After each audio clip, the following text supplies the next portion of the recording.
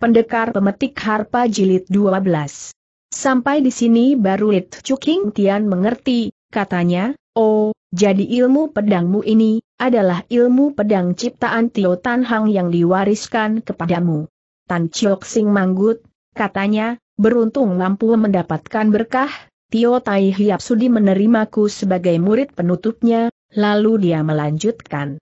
Setelah KHUI Ociampu tahu akan keinginan Lui Tai Hiap ini, dia bilang dahulu dia ingin membantu Lui Tai Hiap supaya terlaksana cita-citamu. Sayang sekali belakangan dia sendiri mengalami suatu musibah, sehingga dipaksa untuk mengasingkan diri. Selama 30 tahun ini bantuannya jadi tertunda dan belum tercapai, oleh karena itu dia minta kepadamu untuk membantu aku mencapai keinginanku itu Yit Chuking Tian meneruskan. Tidak berani. Akan tetapi mumpung ada kesempatan, terpaksa Wampu mohon pengajaran langsung dari Lui Tai Hiap saja. Dengan KH Ulo Ciampu kami hanya saling kenal nama saja, tak nyana dia begitu simpatik, ingin membantu aku mencapai cita-cita, sungguh aku amat kagum, Terima kasih Haru akan ketulusan hatinya, dia tahu hadirin pasti merasa bingung, maka segera dia memberi penjelasan, cita-citaku itu adalah ingin memohon pelajaran ilmu pedang kepada Tio Tai Hiap Tio Tan Hong. Sejak 30 tahun yang lalu Tio Tai Hiap sudah tidak karuan paranya, kukira keinginanku itu jelas takkan bisa tercapai lagi, tak nyana cucu sahabat baikku, atau murid Tio Tai Hiap sendiri hari ini menyampaikan cita-citaku dahulu.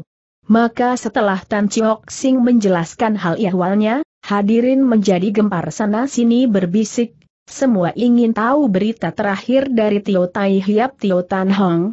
Tan Chiok Sing jadi serba susah, apa yang ingin diketahui orang-orang itu, semuanya adalah persoalan yang sulit untuk diceritakan, Terpaksa akhirnya dia berkata, Suhu sudah almarhum, beliau wafat di hari menerima aku sebagai murid penutupnya. Tempa Kun berkata, semasa masih hidup Tio Tai Hiap tidak suka diganggu orang, maka dia memilih suatu tempat untuk pengasingan dirinya. Memperdalam ilmu pedang dan berhasil menciptakan kungfu tingkat tinggi. Maka tak perlu kita tahu di tempat mana terakhir beliau semayam, hadirin semua adalah kaum persilatan. Umumnya dalam kalangan Kangou ada pantangan yang sudah mereka ketahui dan patuhi bersama. Tadi karena merasa girang dan lega karena mendengar berita Tio Tan Hang maka tak kuasa mereka menahan gelora hati untuk menanyakan pendekar besar pujaan mereka ini. Setelah mendengar penjelasan Tempa Kun, barulah suasana menjadi reda. Baru sekarang Tempa Kun ada kesempatan maju berkenalan dengan Tan Chiok Sing, katanya, waktu di Taitong malam itu, aku masih belum tahu akan dirimu. Kalau tidak pasti aku sudah memberi penjelasan kepadamu, tentang persoalan Lui Tai Hiap itu. Tapi juga untung aku tidak sempat menjelaskan kepadamu. Jikalau aku turut campur, maka kau takkan punya alasan untuk bertanding dengan Lui Tai Hiap, maka kita semua pun takkan memperoleh kesempatan sebaik ini untuk menyaksikan pertandingan sehebat tadi, maka hadirin gemuruh dalam syuzana gelak tawa dan tepuk tangan. It Chuking Tian serahkan kembali golok emas itu kepada Tempa Kun, katanya, terima kasih kau telah meminjamkan golok emasmu ini kalau mengandal sepasang tangan. Kosongku saja, jelas aku bukan tandingan Tan Xiao Hiap yang mahir memakai pedang. Setelah menerima goloknya Tempa Kun berkata lebih lanjut, Lui Toako, ada sebuah persoalan lagi yang ingin ku sampaikan kepadamu yakin kau akan amat senang. Persoalan apa tanya Rit Chuking Tian. Tempa Kun menarik insan ke depan, katanya tertawa, Tio Tan Hang dan In Jong adalah dua pendekar besar dari kaum Ciampu yang kau kagumi. Putra In Jong, In Hao adalah sahabat yang sejak lama ingin kau kenal, betul tidak? Ya, memangnya kenapa tanya Rit Chuking Tian? Biar ku beritahu kepadamu, Nona ini adalah putri tunggal dari In Hao Uin Tai Hiap. Baru sekarang hadirin memperhatikan Insan, dan tahu pula bahwa dia adalah seorang gadis belia yang menyamar jadi laki-laki, semua mereka heran dan bingung. Dengan rawan Insan berkata, sayang ayah sudah meninggal dicelakai musuh, beberapa hari yang lalu baru sempat aku sembahyang di depan pusara beliau. Tapi aku harus berterima kasih kepada Lui Tai Hiap yang telah merawat dan membangun kembali pusaranya itu. Lekasir Cuking Tian membalas hormat. Katanya, sebetulnya ayahmu sudah berjanji dengan Tem Tai Hiap untuk berkunjung ke rumahku, sayang aku tahu setelah terlambat, Bukan saja tak mampu bertindak selaku tuan rumah aku pun tak bisa berbuat banyak setelah dia dicelakai oleh musuh. Walau aku tidak membunuhnya tapi secara tidak langsung, kematiannya karena kelalaianku juga. Sungguh aku merasa menyesal dan mohon maaf kepada Nona, aku merasa malu pula untuk berhadapan dengan orang-orang gagah di dunia ini. Insan membasut air matanya katanya, urusan duka cita ini biarlah berlalu dan tak perlu kita pikirkan lagi. Hari ini adalah hari bahagia kita semua, di mana orang-orang gagah dari segala penjuru kumpul di sini adalah pantas kalau kita harus bersukaria bersama.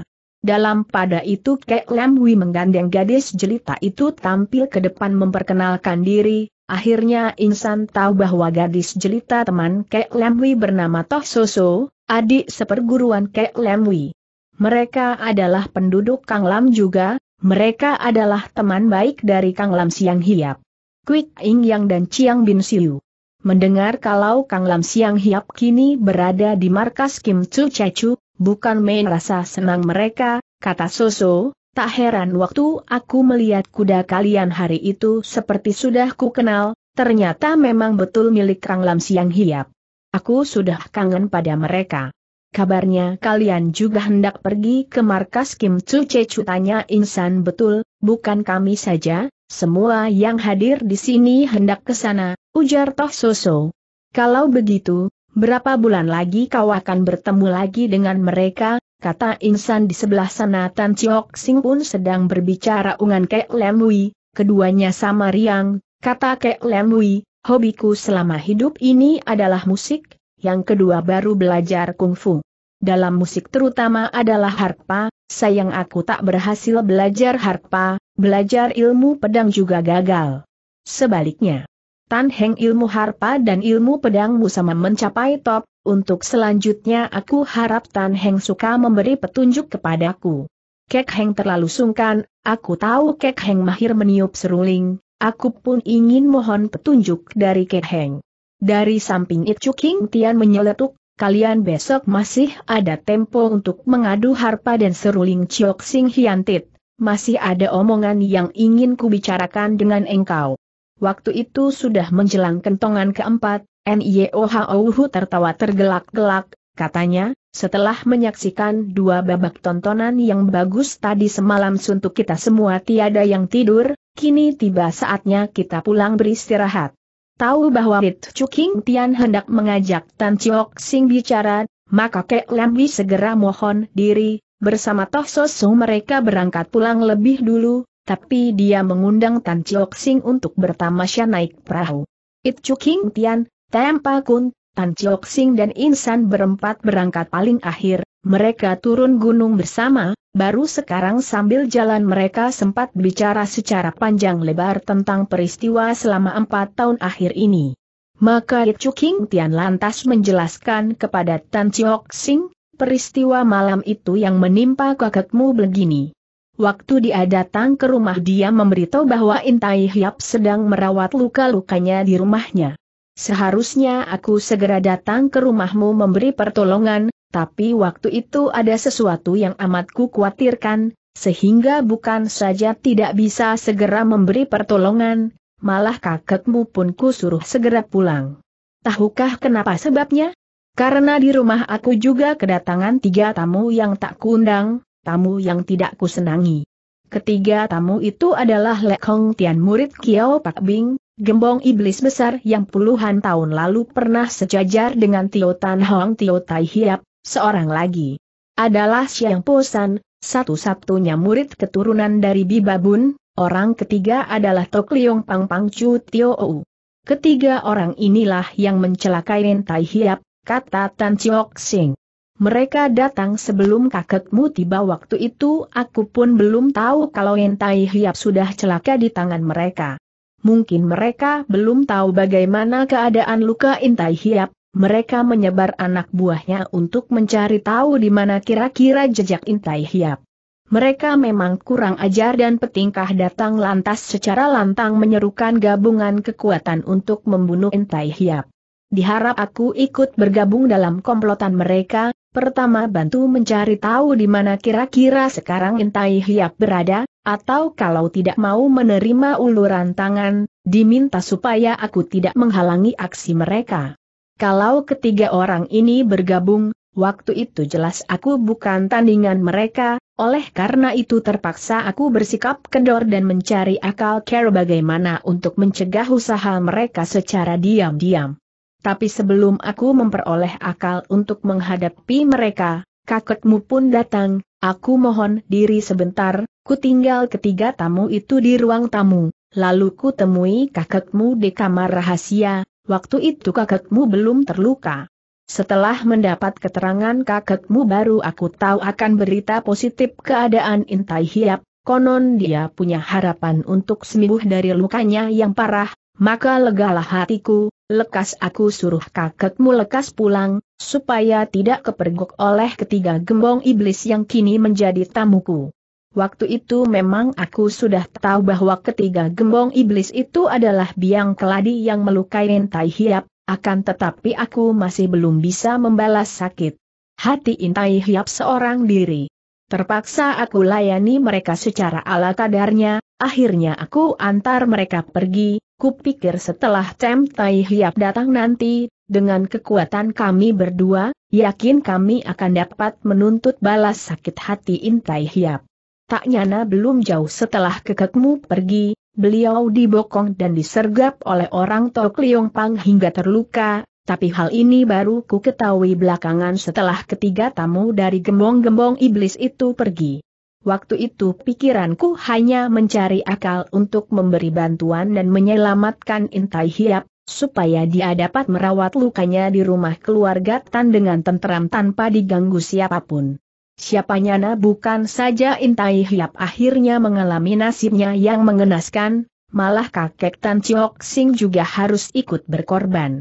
Sungguh bukan kepala ngerasa menyesalku, kalau siang-siang aku tahu bakal terjadi peristiwa ini, Pasti malam itu aku berlaku nekat mengadu jiwa dan melabrak ketiga gembong iblis itu, Ciok Sing Hiantit, Nonain, memang pantas kalian menyalahkan aku karena kelalaianku bertindak waktu itu.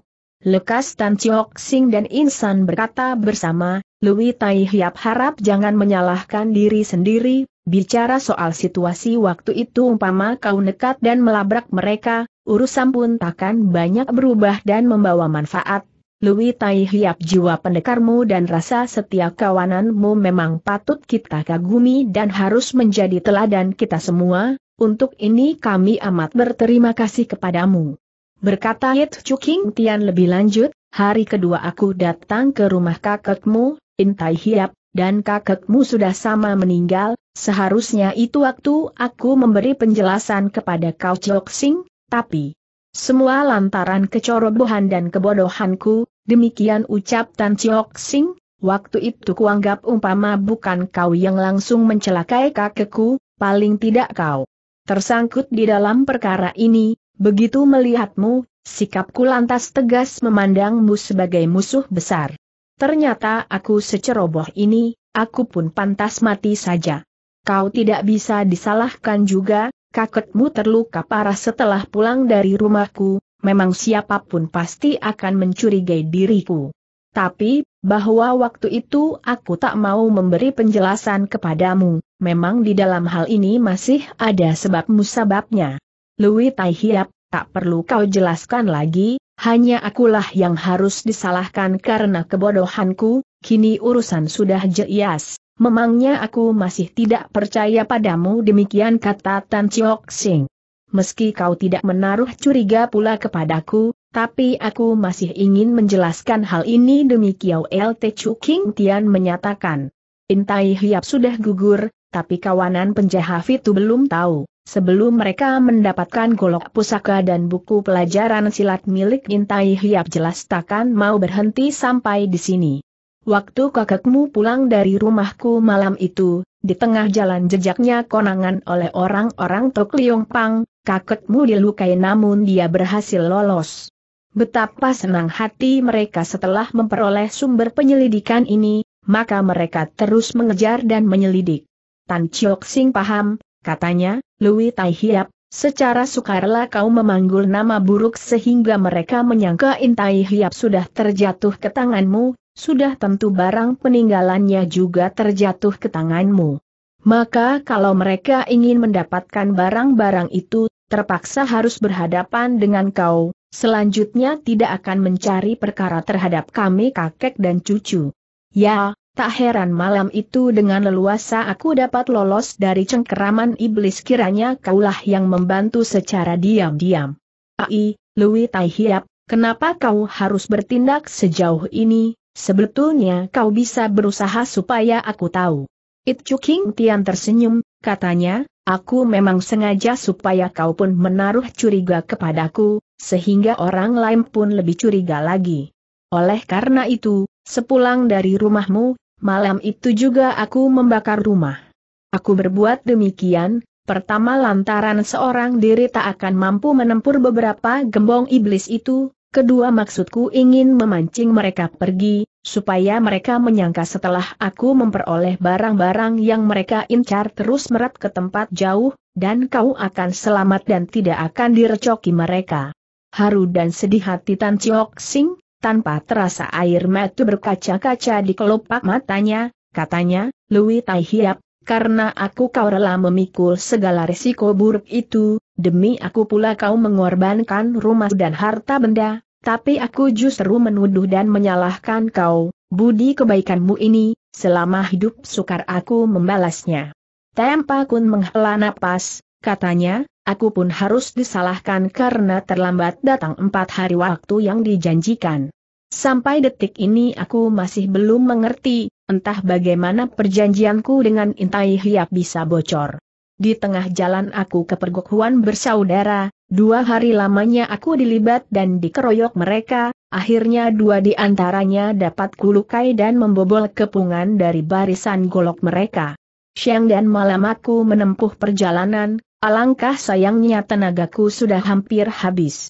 Lebih tak terpikir lagi setelah aku terlambat empat hari tiba di Cit Singgiam, orang-orang Tok Liong Pang masih menunggu aku dan mengatur jebakan sehingga aku terperangkap, begitu tiba aku lantas terbokong dan terluka parah. Untung Lui To aku bertindak tepat pada saatnya kalau tidak jiwaku takkan hidup sampai sekarang. Rahasia ini dicuri dengar oleh Leong Seng bangsat kurcaci itu, demikian Tan Chiok Sing menjelaskan, lalu pamannya yang bernama Liong Bun Kong mengatur tipu daya. Sehingga Intai Hiap celaka dan kita semua mengalami musibah ini, lalu dia menceritakan pula apa yang dia ketahui dari penuturan In Hujin. Baru sekarang Trempa Kun tahu duduknya perkara. Dalam pada itu mereka sudah tiba di bawah gunung, rumah keluarga NIO sudah tampak di kejauhan sana, hari pun sudah mendekati fajar. Teringat sesuatu Tan Chiok Sing lantas berkata, aku hendak menemui seorang teman, kira-kira memerlukan waktu setengah jam. Adik San, kau boleh ikut Tem Tai Hiap dan Lui Tai Hiap menunggu di rumah keluarga NIO saja. Di mana temanmu berada tanya Rit Chuking Tian. Berada di bawah Bik Lian Hong, di tepi sungai, sahutan. Chiok Sing. Kau datang bersamanya kemarin malam tanya Rit Chuking Tian pula. Ya, dialah yang mengantarku kemari dengan perahunya, kalau dia temanmu, kenapa tidak kau ajak ke rumah? Keluarga NIO saja, supaya kita semua bisa kumpul. Dia bukan kaum persilatan, dia seorang nelayan cilik yang waktu kecil menjadi teman baikku. Aku tidak ingin dia ikut terjun ke dalam pusaran pertikaian kaum persilatan. Waktu Tan Chiok Sing buru-buru menyusul ke tepi sungai, tampak perahu Xiao Cucu masih ditambat di pinggir sungai, ternyata dia masih menunggu di sana. Xiao Cucu amat girang, katanya, memangnya aku lagi khawatir, syukurlah kau kembali dengan selamat. Semalam apa yang terjadi? Mana Nonain, kenapa tidak pulang bersamamu? Tan Chiok Sing tertegun, katanya tertawa, Ternyata kau sudah tahu kalau dia menyaru laki-laki. Jangan khawatir, dia. Tidak apa-apa, dia ketemu dua orang sahabat ayahnya, kini seperjalanan menuju ke rumah keluarga NIO. Kalau begitu marilah kau pulang naik perahu kecilku ini. Hari ini angin menghembus kencang, kembalinya pasti lebih laju. Memang aku kemari hendak memberitahu kepadamu, aku akan tinggal dua hari lagi di sini ku harap kau pulang lebih dulu. Xiao cucu tersentak, katanya tersenyum, ya memang aku yang goblok. Kalau Nona In belum pulang, sepantasnya kau pun tetap berada di sini.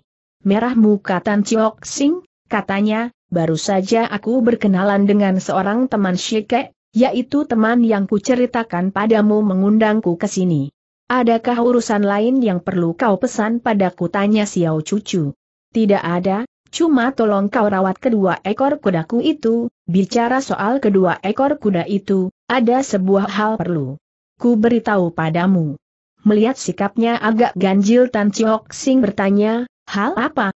Tadi pagi sebelum Fajar menyingsing, ku dengar ada orang yang memperbincangkan kedua ekor kuda putihmu itu. Tan Chiok Sing kaget, tanyanya, siapa mereka entah siapa, mereka lewat di pinggir kali, perahuku ini.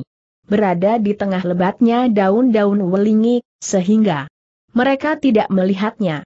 Apa yang mereka bicarakan?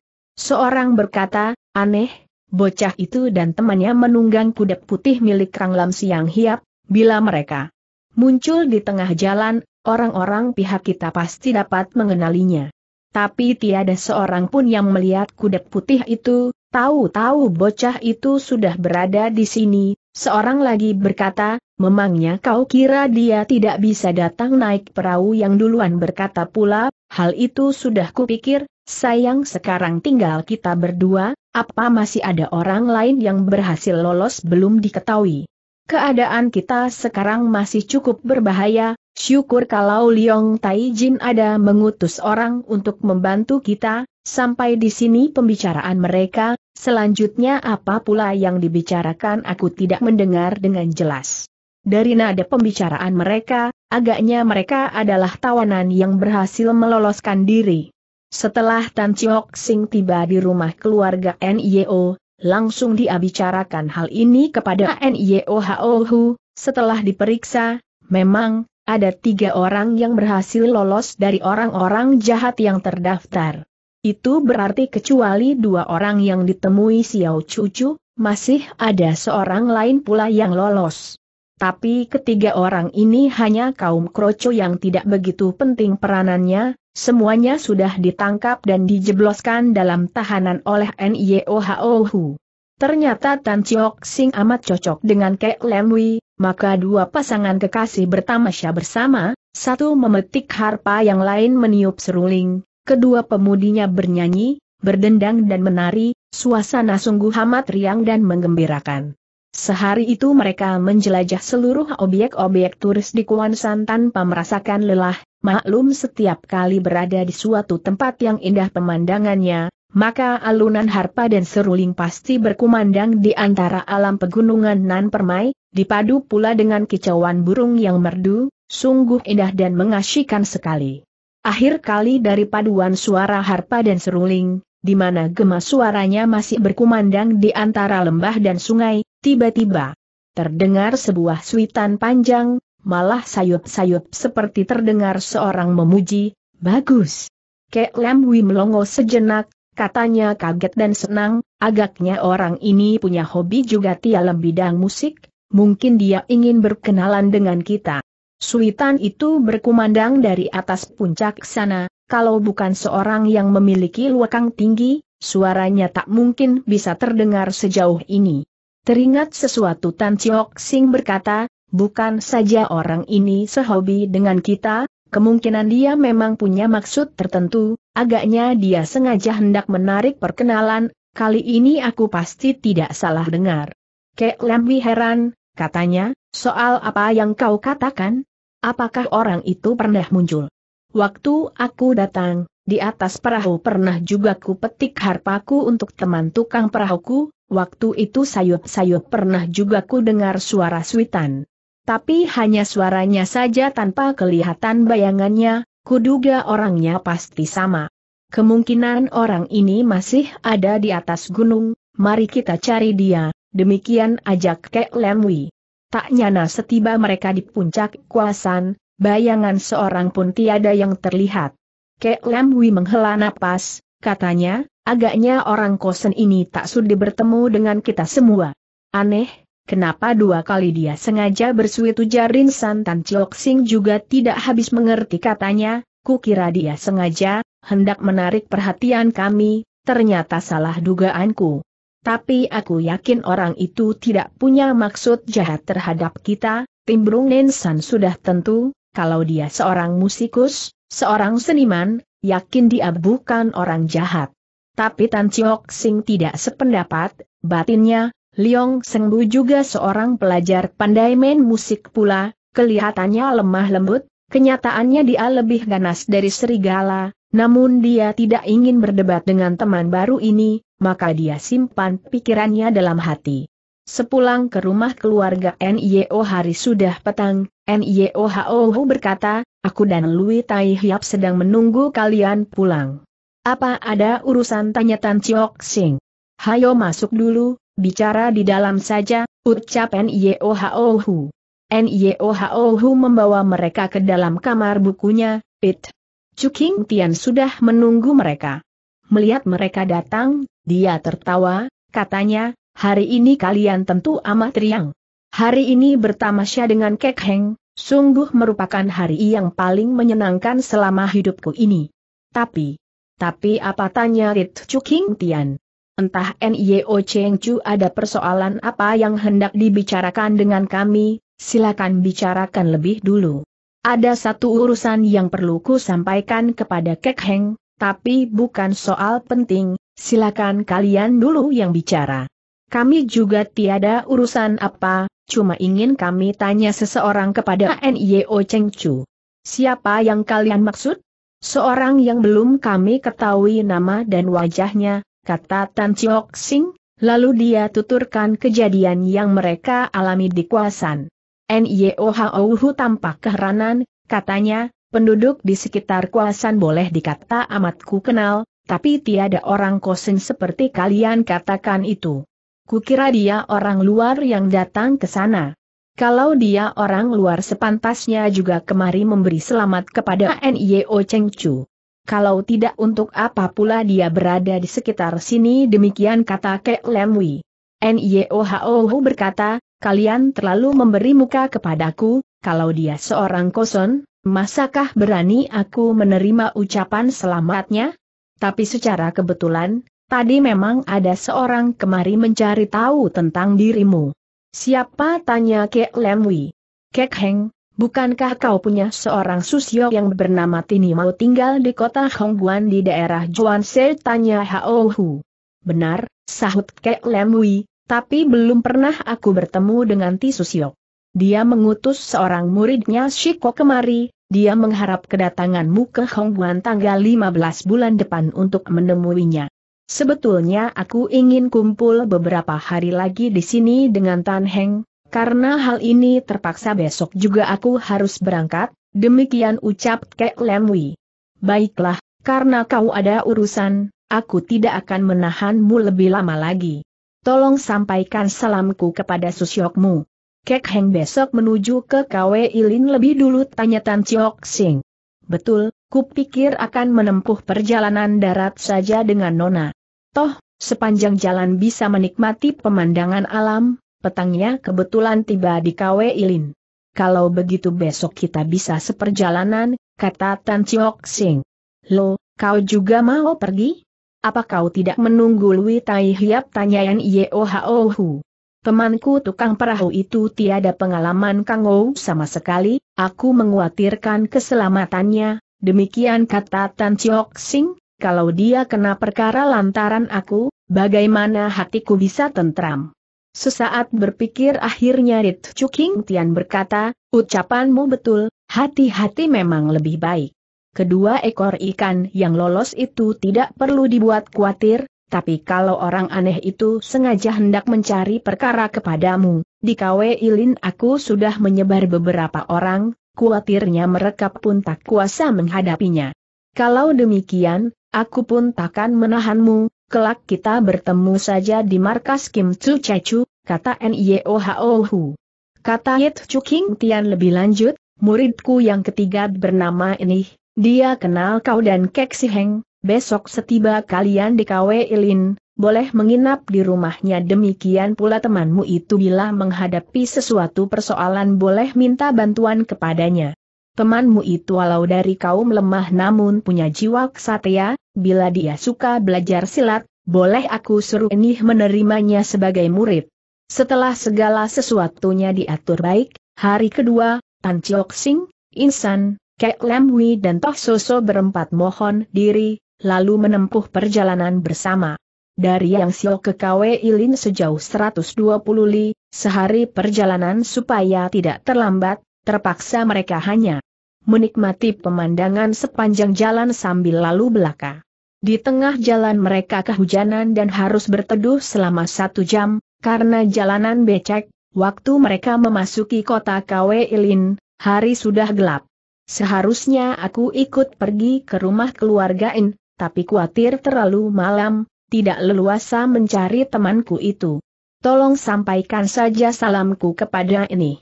Kek Lam Wi mengiyakan katanya, tapi, apa kau tidak makan malam dulu? Marilah, kita makan dulu. Perutan Ciok Sing memang sudah lapar, daripada bikin susah Xiao Cucu, dia pikir lebih baik mampir ke warung dulu baru ke rumahnya. Maka katanya, baiklah, besok aku tak bisa mengiringi perjalanan kalian lebih jauh, biar kali ini aku yang traktir, kalian ingin makan apa boleh pesan saja. Supaya tidak membuang waktu, kita makan di warung saja. Aku hanya ingin menikmati satu macam makanan saja. Masakan apa tanya Tan Chiok Sing? Nasi tim daging kuda. Tan Chiok Sing tertawa, katanya, kau memang pandai mencari makan, nasi tim daging kuda dari KW Ilin memang lain dari yang lain, di lain tempat takkan bisa kau nikmati. Di Jalan Yong Im ada sebuah warung tua yang paling baik, mari ku ajak ke sana. Tapi jangan kau pandang warung itu sudah riot dan kotor. Warung tua ini memang kecil, kotor lagi, dinding rumahnya sudah hitam hangus oleh asap, agaknya sudah sekian tahun tidak pernah dibersihkan. Toh sosok dari keluarga besar yang kaya raya, sudah tentu tak biasa berada di warung sekotor ini, dia masuk dan duduk sambil menutup hidung. Melihat ada tamu, pelayan segera menyilakan duduk, tanpa dipesan segera dia lari ke sana mulai mengiris daging kuda. Secara bisik-bisik insan berkata, kenapa tidak kau pesan beberapa mangkok lebih dulu? Tidak usah pesan, kata Tan Chiok Sing, apalagi orang-orang yang kemari makan nasi tim daging kuda tiada yang tahu pasti berapa banyak dia menghabiskan. Eh, memangnya takeran makan sendiri tidak tahu tanya Insan bingung. Orang yang takeran makannya besar sekaligus bisa menghabiskan 30-40 mangkok, bagi yang takeran kecil sedikitnya juga belasan atau dua puluhan mangkok. Makan banyak atau sedikit kan tidak menjadi persoalan. Apa teriak Insan, seorang bisa menghabiskan 40 mangkok? Mangkok apa itu? nanti setelah disuguhkan kau akan tahu sendiri, sahutan Ciok Sing. Tak lama kemudian pelayan sudah membawa nampan menyuguhkan nasi tim daging kuda. Ternyata mangkok yang berisi nasi daging kuda hanya sebesar cangkir teh. Seketika insan tertawa, katanya, oh, kiranya sekali gares dapat melalap satu mangkok, tak heran yang doyan makan bisa menghabiskan 40 mangkok. Nasinya juga amat harum, kata Toh Soso.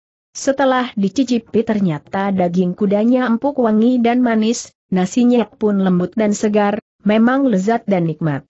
Semula dia makan sambil menutup hidung, akhirnya semakin lahap semakin riang dan berseri tawa. Sudah menjadi aturan umum, bila sang tamu tidak suruh berhenti, pelayan masih terus menyuguhkan tanpa berhenti. Tan Chiok Sing minta Sam Hoa Chiu, dengan Kek Lam Widya makan sambil minum arak. Sebentar saja mangkok kosong sudah bersusun memenuhi meja. Insan berkata, aneh, semakin makan semakin enak, itu pun merupakan peraturan untuk yang suka makan nasi. Tim daging kuda. Beberapa mangkok permulaan daging yang disuguhkan adalah daging kuda biasa, kira-kira setelah lima mangkok, baru kau akan betul-betul merasakan daging kuda yang paling lezat, bila kau sudah merasakan bagian dalamnya, tanggung kau takkan merasa kenyang. Waktu pelayan menghitung rekening, mereka berempat seluruhnya menghabiskan 98 mangkok. Tan Chiok Sing tertawa, katanya, kurang dua genap seratus mangkok, takaran makan kita ternyata biasa saja. Di tengah jalan mereka berpisah, Tan Chiok Sing dan Insan menuju ke pintu timur, waktu mendengar ternyata rembulan sudah bercokol di tengah langit, Tan Chiok Sing kaget, katanya, begitu lama kita makan nasi tim daging kuda, sekarang mungkin sudah menjelang kentongan ketiga.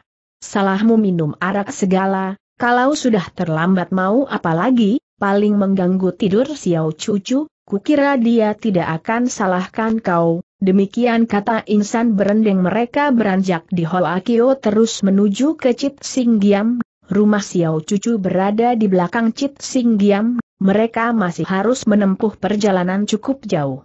Pada saat itulah di atas lereng sana kedengaran ada suara orang. Lekas Tan Ciok Sing tarik tangan Insan sambil memberi tanda supaya dia berhenti.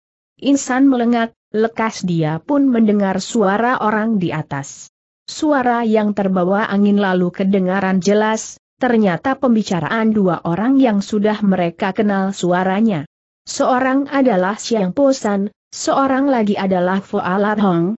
Terdengar Foalat Hong sedang berkata, sungguh sial, tak nyana tak berhasil mencuri ayam malah kehilangan segenggam beras. Entah siapa kedua keparat itu. Kalah menang sudah biasa, suatu ketika gagal juga sudah sering terjadi, untung kita sudah tahu di mana sembunyinya Tan Ciok Sing bocah keparat itu, besok mungkin dia akan kembali dari Iyang Siok, asal dia tidak bersama It Chuking Tian, kita masih bisa mengerjai dia. Foalat Hang berkata, kuatirnya kedua keparat itu adalah komplotannya, kita kuntit diam-diam, ternyata mereka juga mengawasi kita. Kukira bukan, kalau kedua orang itu temannya, mana bisa mereka melakukan perbuatan seperti kita. Sampai di sini Tan Chiok Sing tidak tahan lagi, segera dia kembangkan Pet Po Kan Sian terus melompat keluar memburu ke atas lereng, bentaknya, tak usah tunggu sampai besok bagaimana kalian hendak menjebakku, sekarang saja, belum habis dia bicara pedang pusakanya sudah terlolos, tubuh dan pedangnya bagai selarik lembayung menukik turun terus menggulung tiba, terang pedangnya membentur keras dengan gitar besi Siang Posan. Sebagai murid tunggal Bi Babun Kungfu Siang Posan memang cukup tinggi, dalam sekejap itu dia sudah bergebrak tiga jurus dengan Tan Chiok Sing, namun tiada yang dirugikan. Sementara itu Insan terlambat bertindak, maka dia belum menyusul tiba. Setelah mendesak Tan Chiok Sing mundur dua langkah tiba-tiba Siang Posan berteriak, angin kencang, begitu gitar ditekan, ting, ting tiba-tiba dua batang paku penembus tulang melesat ke sana menyerang ke arah insan yang memburu tiba. Tan Chiok Sing tahu betapa lihai paku orang, kuatir insan tak kuasa menangkisnya, lekas dia membalik tubuh sambil menyambit dua batang piau besi, sehingga paku penembus tulang itu dirontokkan di tengah jalan. Xiang dan Foa berdua pernah merasakan betapa lihainya Xiang Kiam Hapik dari Tan Chiok Sing dan Insan, begitu. Melihat Insan memburu tiba, kontan mereka ngacir mencawat ekor. Sementara Tan Chiok Sing menguatirkan keselamatan Xiao Cucu, maka dia tidak mengejar.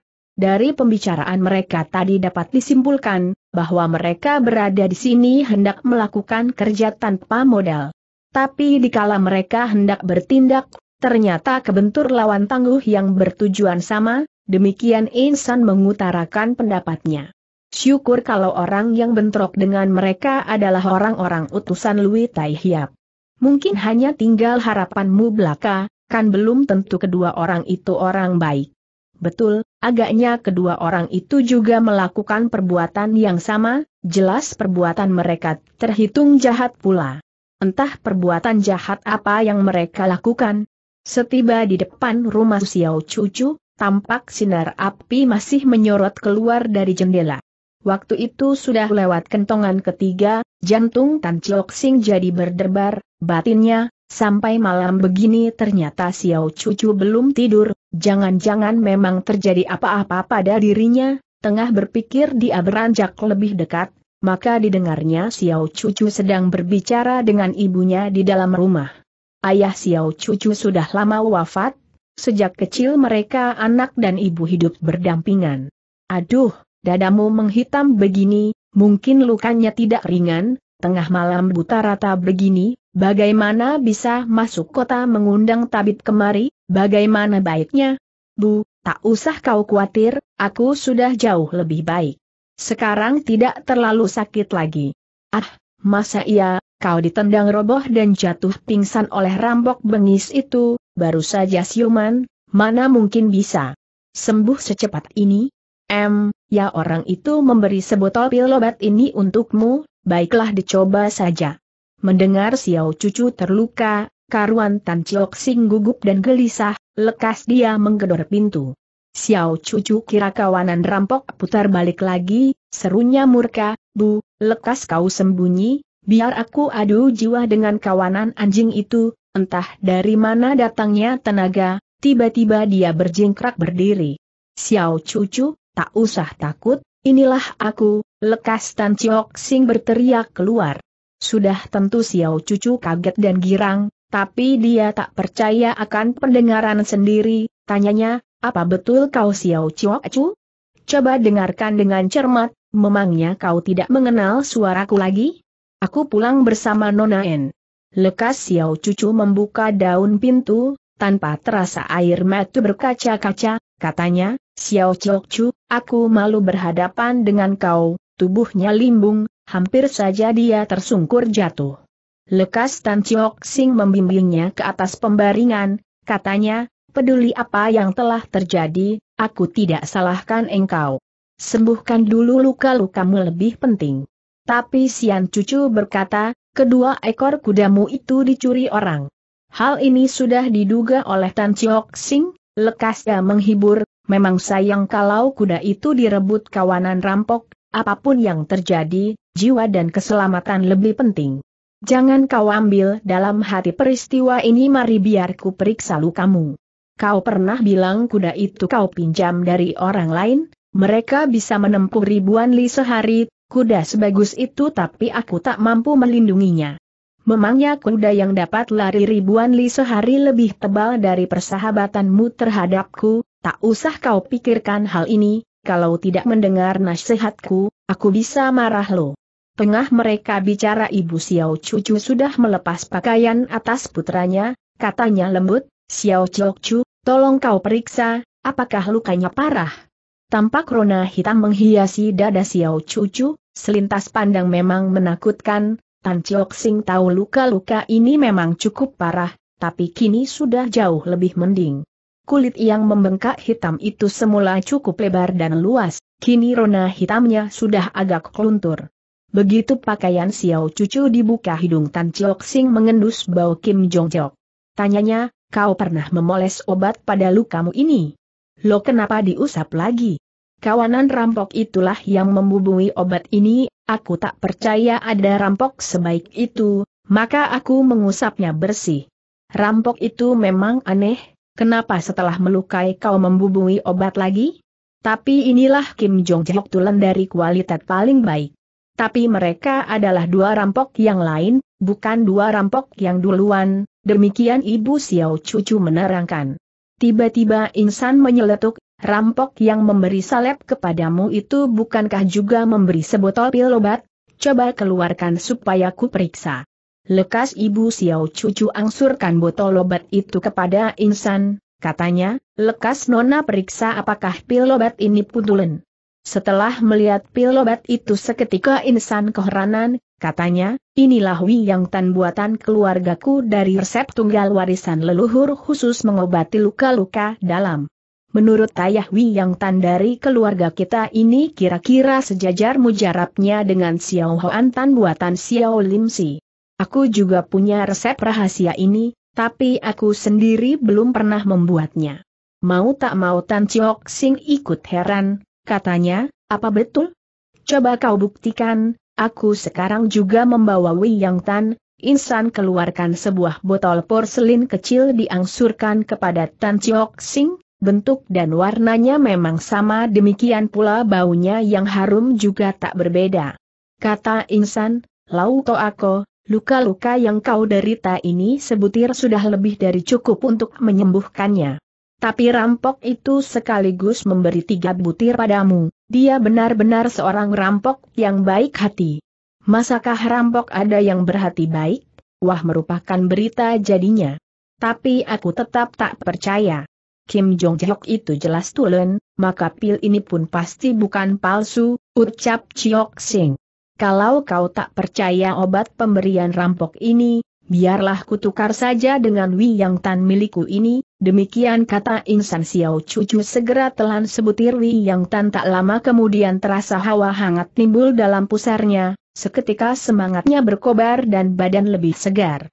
Waktu Xiao Cucu makan obat Tan Ciok Sing bertanya kepada Insan, apakah Wi Yang Tan ayahmu sering disumbangkan kepada teman-temannya?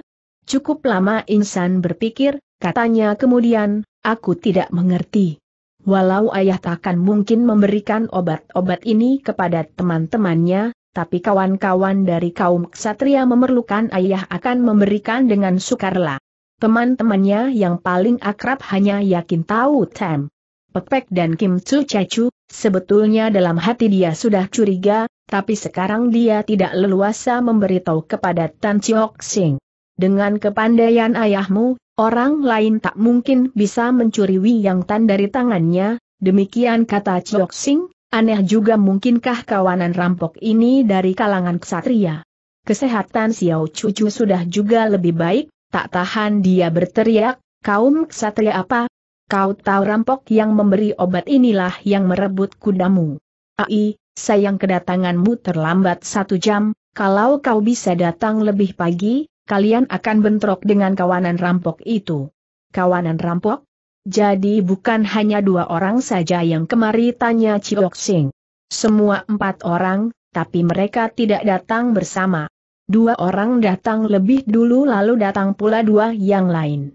Dua orang yang datang duluan apakah berwajah begini begitu? Satu di antaranya membawa gitar lalu dia lukiskan bentuk tampang Siang Posan dan Foalat Hong, Sedikit pun tidak salah, dari mana kau bisa tahu? Tanya Xiao Cucu terbeliak. Aku sudah ketemu mereka di tengah jalan, ujar Chok Sing tertawa, lalu dia ceritakan bahwa kedua gembong iblis itu sudah digebahnya lari mencawat ekor. Keruan Xiao Cucu amat senang, katanya, sayang kau tidak merebut balik kuda itu, tapi terlampias juga rasa penasaranku. Kuda kami itu dirampas oleh kedua rampok yang datang belakangan bukan tanya Ciok Sing. Ya, betul, sahut Xiao Cucu. Bagaimana pula tampang perampok yang datang belakangan? Rampok yang datang duluan sebetulnya sudah hendak membunuh aku. Pada detik-detik genting di kala jiwaku sudah hampir menghadap Giam Loong itu, tiba-tiba muncul dua sosok bayangan orang, secepat angin lesus tahu-tahu menubruk tiba.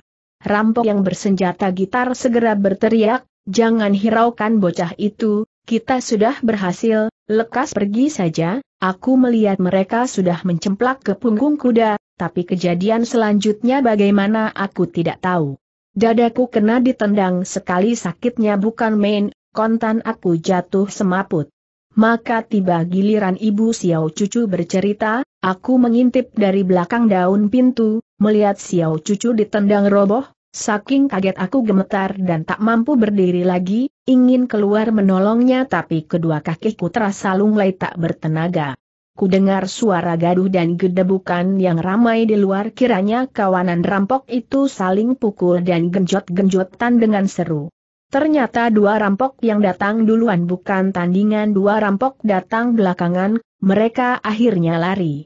Apa kau melihat wajah kedua rampok yang datang belakangan tanya insan ibu Xiao Cucu menutur, saking kaget aku jadi kebingungan, aku hanya bisa mengintip dari sela-sela pintu, mana bisa kulihat jelas? Tapi satu di antaranya kelihatan masih muda, mirip anak sekolahan, setelah memukul lari kedua orang itu, dia berdiri di depan pintu dan berkata, Lo mama, ibu tua, kau tak usah takut, kami tidak akan mencelakai putramu. Tapi kedua ekor kuda ini akan kami ambil. Di sini ku tinggalkan seratus tahil perak, nanti, boleh keluar mengambilnya. Lekas kau tolong putramu. Maka Xiao Cucu menyambung, entah berapa lama aku semaput, tiba-tiba terasa sekujur badan dingin nyaman. Seketika aku siuman, samar-samar sempat kulihat ada dua bayangan orang berdiri di depanku, aku hanya mendengar perkataannya. Apa yang dia katakan kepadamu tanya insan dia membisiki aku, kau tak usah khawatir, aku sudah memoles obat di dadamu, ku tinggalkan pil obat pula, yakin. Setelah kau menelan pil obat ini kesehatanmu akan lebih kuat dan fit. Sebelum pergi perampok ini ternyata masih berpura-pura baik di hadapanku, katanya pula, malam ini bikin kau menderita sungguh harus disesalkan. Aku mohon maaf padamu, rawatlah luka-lukamu dengan baik, lalu dia naik ke punggung kuda tinggal pergi temannya. Tan Chiok Sing masih ragu-ragu katanya, orang itu memang tidak ngapusi, dia memberi obat paling mujarab untuk kau. Ibu Xiao Cucu bercerita pula, waktu aku membuka pintu dan keluar, betul juga kulihat sebungkus uang perak, Xiao Cucu suruh aku kembalikan kepada orang itu, tapi orang itu sudah keburu pergi. Xiao Cucu berkata, aku justru tidak percaya ada rampok sebaik itu maka aku bersihkan salep yang dipoleskan di dadaku. Siapa kira ternyata dia betul menolong jiwaku. Tapi kenapa dia merebut kudamu? Aku pun tak tahu sebab musababnya. Tapi rampok memang beraneka ragam, pelajar yang kau temui ini umpama betul adalah rampok, dia boleh terhitung rampok yang baik hati. Betul, kalau dia seorang rampok yang baik hati, karena Xiao Cucu terluka dia merasa menyesal, maka memberinya uang dan obat, kalau demikian sepantasnya dia memberitahu apa tujuannya merampas kuda itu. Xiao Cucu coba kau pikir lagi lebih cermat, mungkin masih ada kata-kata yang kau lupakan? Agaknya Xiao Cucu menjadi kikuk dan khawatir pula, katanya, sebelum merampok itu pergi, dia memang ada berpesan kepadaku, tapi aku, aku khawatir kau tertipu oleh rampok itu, maka tak berani aku menyampaikan pesannya itu.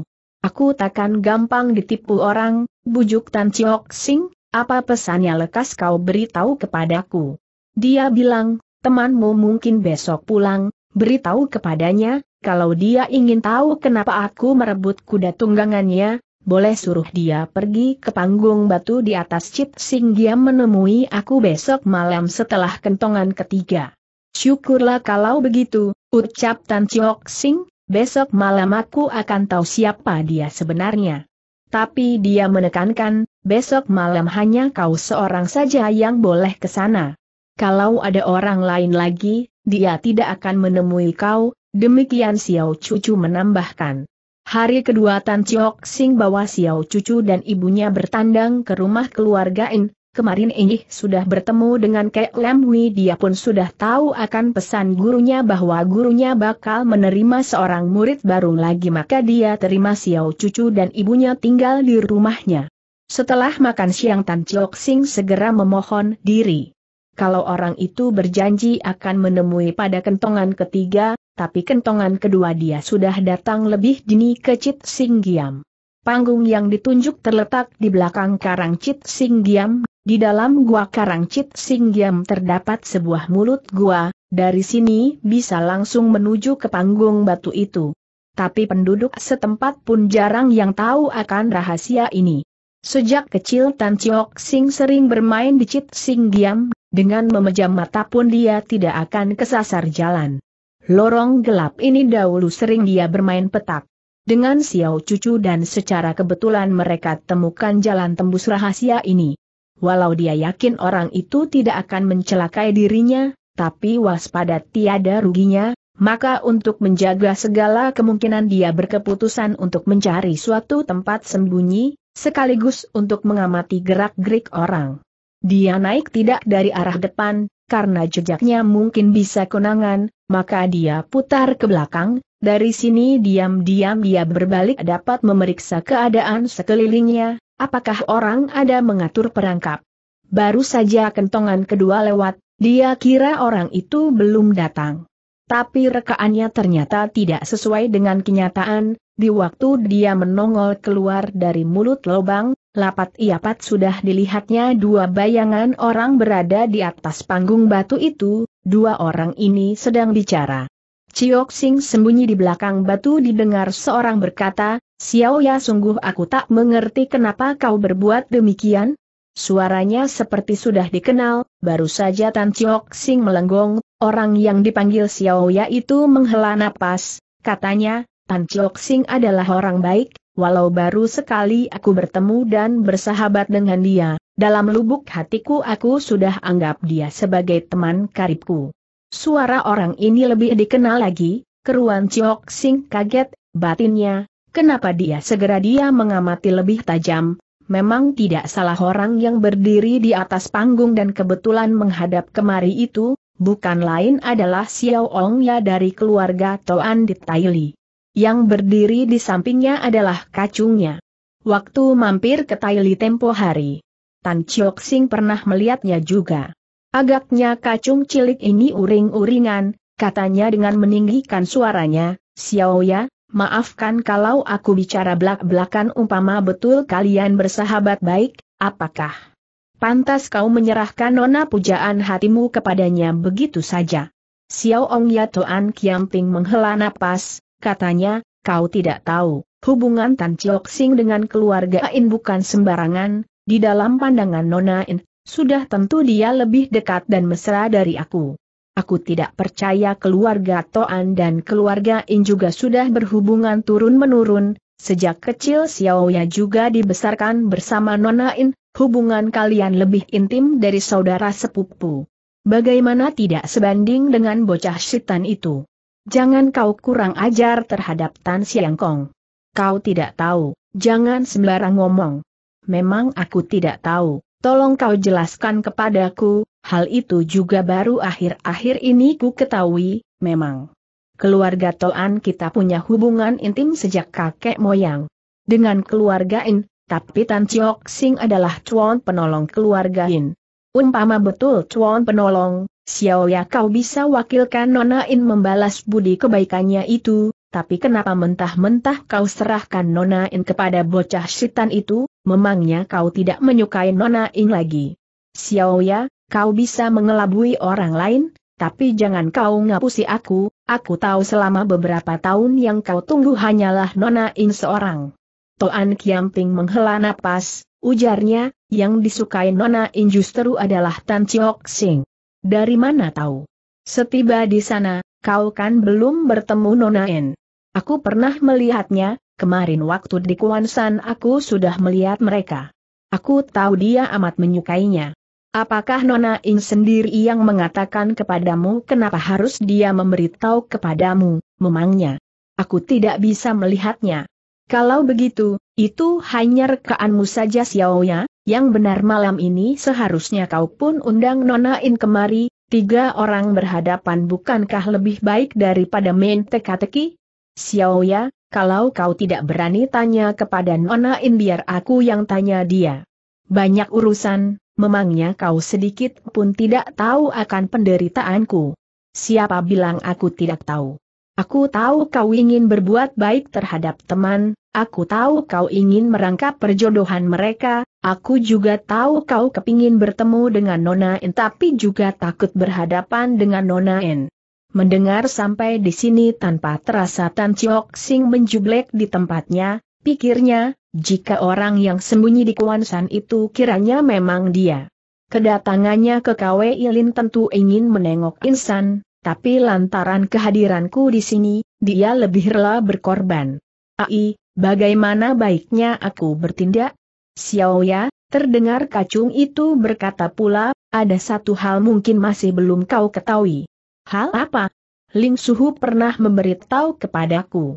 Waktu kalian masih kecil, suatu ketika Intai Hiap bertandang ke rumah kau, Waktu bicara dengan Loong Ya dia bilang dia hanya punya seorang putri, harapannya kelak putrinya bisa hidup tentram dan bahagia, jangan seperti dirinya yang hidup kelana di Kangou, selalu harus menempuh dan menyerempet bahaya.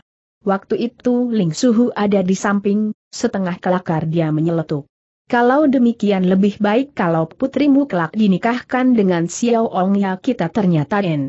Tai Hiap dan Lo Ong Ya punya maksud yang sama. Tapi lantaran waktu itu usia kalian masih terlalu kecil, maka soal jodoh ini tidak seketika diputuskan secara resmi. Lain dulu lain sekarang, umpama betul dulu Intai Hia punya maksud itu, bukan mustahil belakangan dia merubah niatnya. Apalagi soal jodoh ini belum resmi? Tiba-tiba kacung itu bertanya, Xiao Ya, kenapa malam ini kau tidak minta Ling Suhu menemani kau? Aku suka kau yang menemaniku, apa kau tidak sedih sudah tentu aku senang hati, tapi coba biar ku coba isi. Hatimu, malam ini kau tidak berani mengajak Ling Suhu lantaran kau takut Ling Suhu mencegah perbuatan bodohmu. Bukan mustahil begitu berhadapan dengan Tan Chiok Sing, dia bakal memaki dan menistanya sebagai pemuda matu keranjang yang tidak tahu diri seperti kodok buduk yang ingin mencaplok daging bangau saja. Toan Kiamping marah serunya, mana boleh kau mengundal obrolan tidak genah begini, merendahkan martabatan siang kong saja memangnya kau sudah lupa akan pesanku? Berani sembarang omong lagi awas ku gampar mulutmu. Sejauh ini pembicaraan mereka, maka persoalan pun sudah gamblang, ternyata dari mulut Kang Lam Lihiap Chiong Bin Siu. Toan Kiamping tahu jejak mereka, maka sengaja dah menyusul ke Kwe Ilin. Maka rampok baik hati semalam merampas kuda putih di rumah Xiao Cucu kini sudah jelas adalah perbuatan Xiao Ong Ya ini, sementara seorang temannya lagi adalah Chong Kau Tau dari rumah keluarga Toan, yaitu Ling Suhu, bukan heran kedua gembong iblis itu bukan tandingan mereka, demikian batin Tan Chiok Sing. Setelah tahu duduknya persoalan, hati Chiok Sing jadi risau, resah dan ruwet, darah seperti bergolak dalam tubuhnya. Kacung itu memaki aku sebagai kodok buduk, ai, tak bisa disalahkan kalau dia memakiku demikian, kalau aku dibanding Xiao Ong ya memang tidak setimpal menjadi pasangan Putri Intai Hiap. Syukur hembusan angin malam pegunungan yang sepoi-sepoi dingin menyegarkan otak Tan Chiok Sing, kembali dia membatin, Toan Kiamping memandangku sebagai sahabat karib, sukarlah berkorban dan menyerahkan nona pujaannya kepadaku, Begitu luhur budinya, sungguh aku patut menyesal dan malu diri, bagaimana aku harus bertindak? Didengarnya kacung itu sedang berkata pula, Xiao ya, bukan aku suka ceriwis, kau begini baik terhadap Tan Chiok Sing, tapi dia justru berbuat salah kepadamu. Omong kosong, dalam hal apa dia berbuat salah terhadapku semprotoan Kiamping. Kau suruh dia mengirim kabar kepada Nona In, berarti kau mempercayainya, tapi dia justru merebut kekasihmu. Dia menolong Nona Ing sebelum aku minta dia mengirim suratku itu. Memang, kau menganggapnya teman yang dapat dipercaya, tapi dia justru menyembunyikan hubungan akrabmu dengan keluarga Titik dapatkah ini dikatakan dia menganggap kau sebagai temannya? Hektometer, yang jelas dia tahu bahwa kau diam-diam mencintai Nona N. Berkerut alis Toan Kiamping, katanya, kularang kau rasani Tan Siang Kong. Begini tidak boleh, begitu juga dilarang, baiklah terpaksa mulutku biar bungkam saja. Ai, Xiao ya, kalau kau rela berbuat sebodoh ini, ya aku pun apa boleh buat. Toan Kiamping menengadah, tampak rembulan sudah meninggi di tengah angkasa, katanya, sudah mendekati kentongan ketiga, turunlah kau menjaga di bawah, kini. Tinggal Toan Kiamping seorang yang berdiri di atas panggung batu, kini rembulan sudah tepat di tengah angkasa, tepat tiba kentongan ketiga. Tan Chiok Sing masih bimbang apakah dia perlu keluar menemui Toan Kiamping. Persoalan kuda putih sudah jelas. Isi hati Toan Kiamping sudah dia ketahui. Perlukah dia keluar menemuinya pula? Agaknya Toan Kiamping sudah tidak sabar dan tampak gelisah, dia celingukan kian kemari sambil mondar-mandir menggendong tangan, mulutnya terdengar menggumam, kenapa belum datang juga? Apakah dia curiga dan khawatir musuh mengatur perangkap hendak mencelakai jiwanya? Atau di tengah jalan dia mengalami sesuatu? Tan Chiok Sing tetap mendekam di semak belukar di belakang batu, dia tetap tak kuasa mengambil keputusan. Mendadak muncul sesosok bayangan dari lamping gunung sana, berlari kencang, tujuannya adalah panggung batu di atas Cit Sing Giam, dilihat gerak-geriknya ternyata ginkangnya tidak lemah. Terdengar Toan Kiamping menghela napas lega, katanya, nah, akhirnya datang juga. Sudah tentu Tan Chiok Sing keheranan, Siapakah yang datang? Cepat sekali orang ini sudah melejit ke atas panggung batu, begitu melihat yang datang ini bukan Tan Chiok Sing, sesaat Toan Kiamping jadi menjublek, bentaknya, siapa kau? Orang itu menjawab, aku mengantarkan surat Tan Chiok Sing. Siapa kau? Akulah Toan Kiamping dari Taili, kau, kau ini. Hah, kiranya Xiao Ongnya dari Taili. Kalau Tan Siang Kong tahu akan dirimu, tak usah dia suruh aku kemari. Jadi kau, adalah teman Tan Siang Kong, tolong tanya siapa si dan namamu. Aku adalah murid tertua dari Chu King Tian, namaku ini. Jadi kau ini ini Toan Kiamping menegas heran, walau dia belum pernah ketemu ini, tapi dia tahu kalau ini baru berusia tiga puluhan tapi laki-laki ini berusia empat puluhan lebih. Aku pesuruh dari keluarga Hin. Tan Siang Kong tinggal di rumah kami, kejadian hari ini sudah dia sampaikan kepada majikan kami. Maka majikan kami membujuknya supaya tidak usah datang, maka Tan Siang Kong menulis sepucuk surat suruh aku mengantar kemari, tapi aku bukan teman Tan Siang Kong lo. Sebetulnya Tan Chiok Sing sudah hendak menerobos keluar membongkar rombongan bohong orang ini, tapi setelah mendengar kata-kata orang terakhir, dia jadi ragu-ragu dan merandek. Batinnya, mungkin Xiao Cucu khawatir aku menghadapi bahaya, tanpa memperdulikan pesanku dia memberitahu ini meminjam namaku menyuruh pembantunya kemari mengirim surat itu. Toan Kiamping memang sudah tahu bahwa Tan Chiok Sing, Insan, Xiao Cucu dan ibunya siang tadi sudah pindah ke rumah keluarga In, bahwa belakangan Tan Chiok Sing sudah keluar dari rumah kediaman keluarga In ternyata belum diketahui olehnya. Orang ini mengaku pesuruh keluarga In, ternyata dia kena ditipu begitu saja. Dengan rasa kecewa Toan Kiamping berkata, ternyata begitu. Baiklah kau serahkan surat itu kepadaku, waktu Toan Kiamping membuka sampul surat dan membeber kertas putih di dalam sampul, ternyata melulu kertas putih belaka tanpa tulisan sehuruf pun. Karuan Toan Kiamping melongot, tanyanya, apa maksudnya ini mendadak dirasakan jari. Jarinya linu dan pati rasa, sekejap saja telapak tangannya juga gatal-gatal rasanya tidak karuhan. Pada saat dia kaget dan melongo inilah orang itu mendadak tertawa tergelak-gelak, tiba-tiba tangannya terayun. Begitu mendengar gelak tawa orang, Seketika Tan Chiok Sing merinding dibuatnya, saking kaget seketika dia berjingkrak berdiri. Tadi orang itu mengaku sebagai pesuruh keluarga In, Tan Chiok Sing masih belum berani memastikan palsu atau tulen, setelah mendengar gelak tawa orang, segera dia tahu akan kepalsuannya malah seketika pula dia tahu siapa sebenarnya orang ini.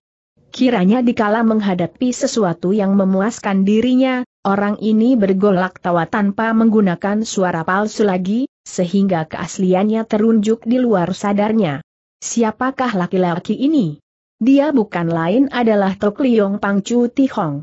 Tihong memang mahir menggunakan senjata rahasia beracun dan mahir menyamar lagi, ini sudah berulang kali berpesan wanti-wanti supaya Tan Chiok Sing berhati-hati bila menghadapinya. Tak duga bukan Tan Chiok Sing yang kena bokong, tapi Toan Kiamping lah yang kecundang oleh kelicikan orang.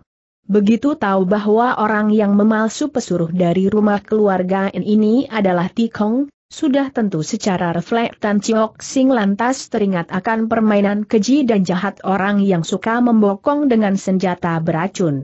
Begitu orang itu mengayun tangan, Tan Chiok Sing segera berteriak, awas Toan Heng senjata rahasia, berbareng dia pun mengayun tangan, menimpuk sebutir batu dengan kekuatan Sian Chi Sintong. Begitu orang itu mengayun tangan, tujuh bintik sinar bintang seketika melesat keluar.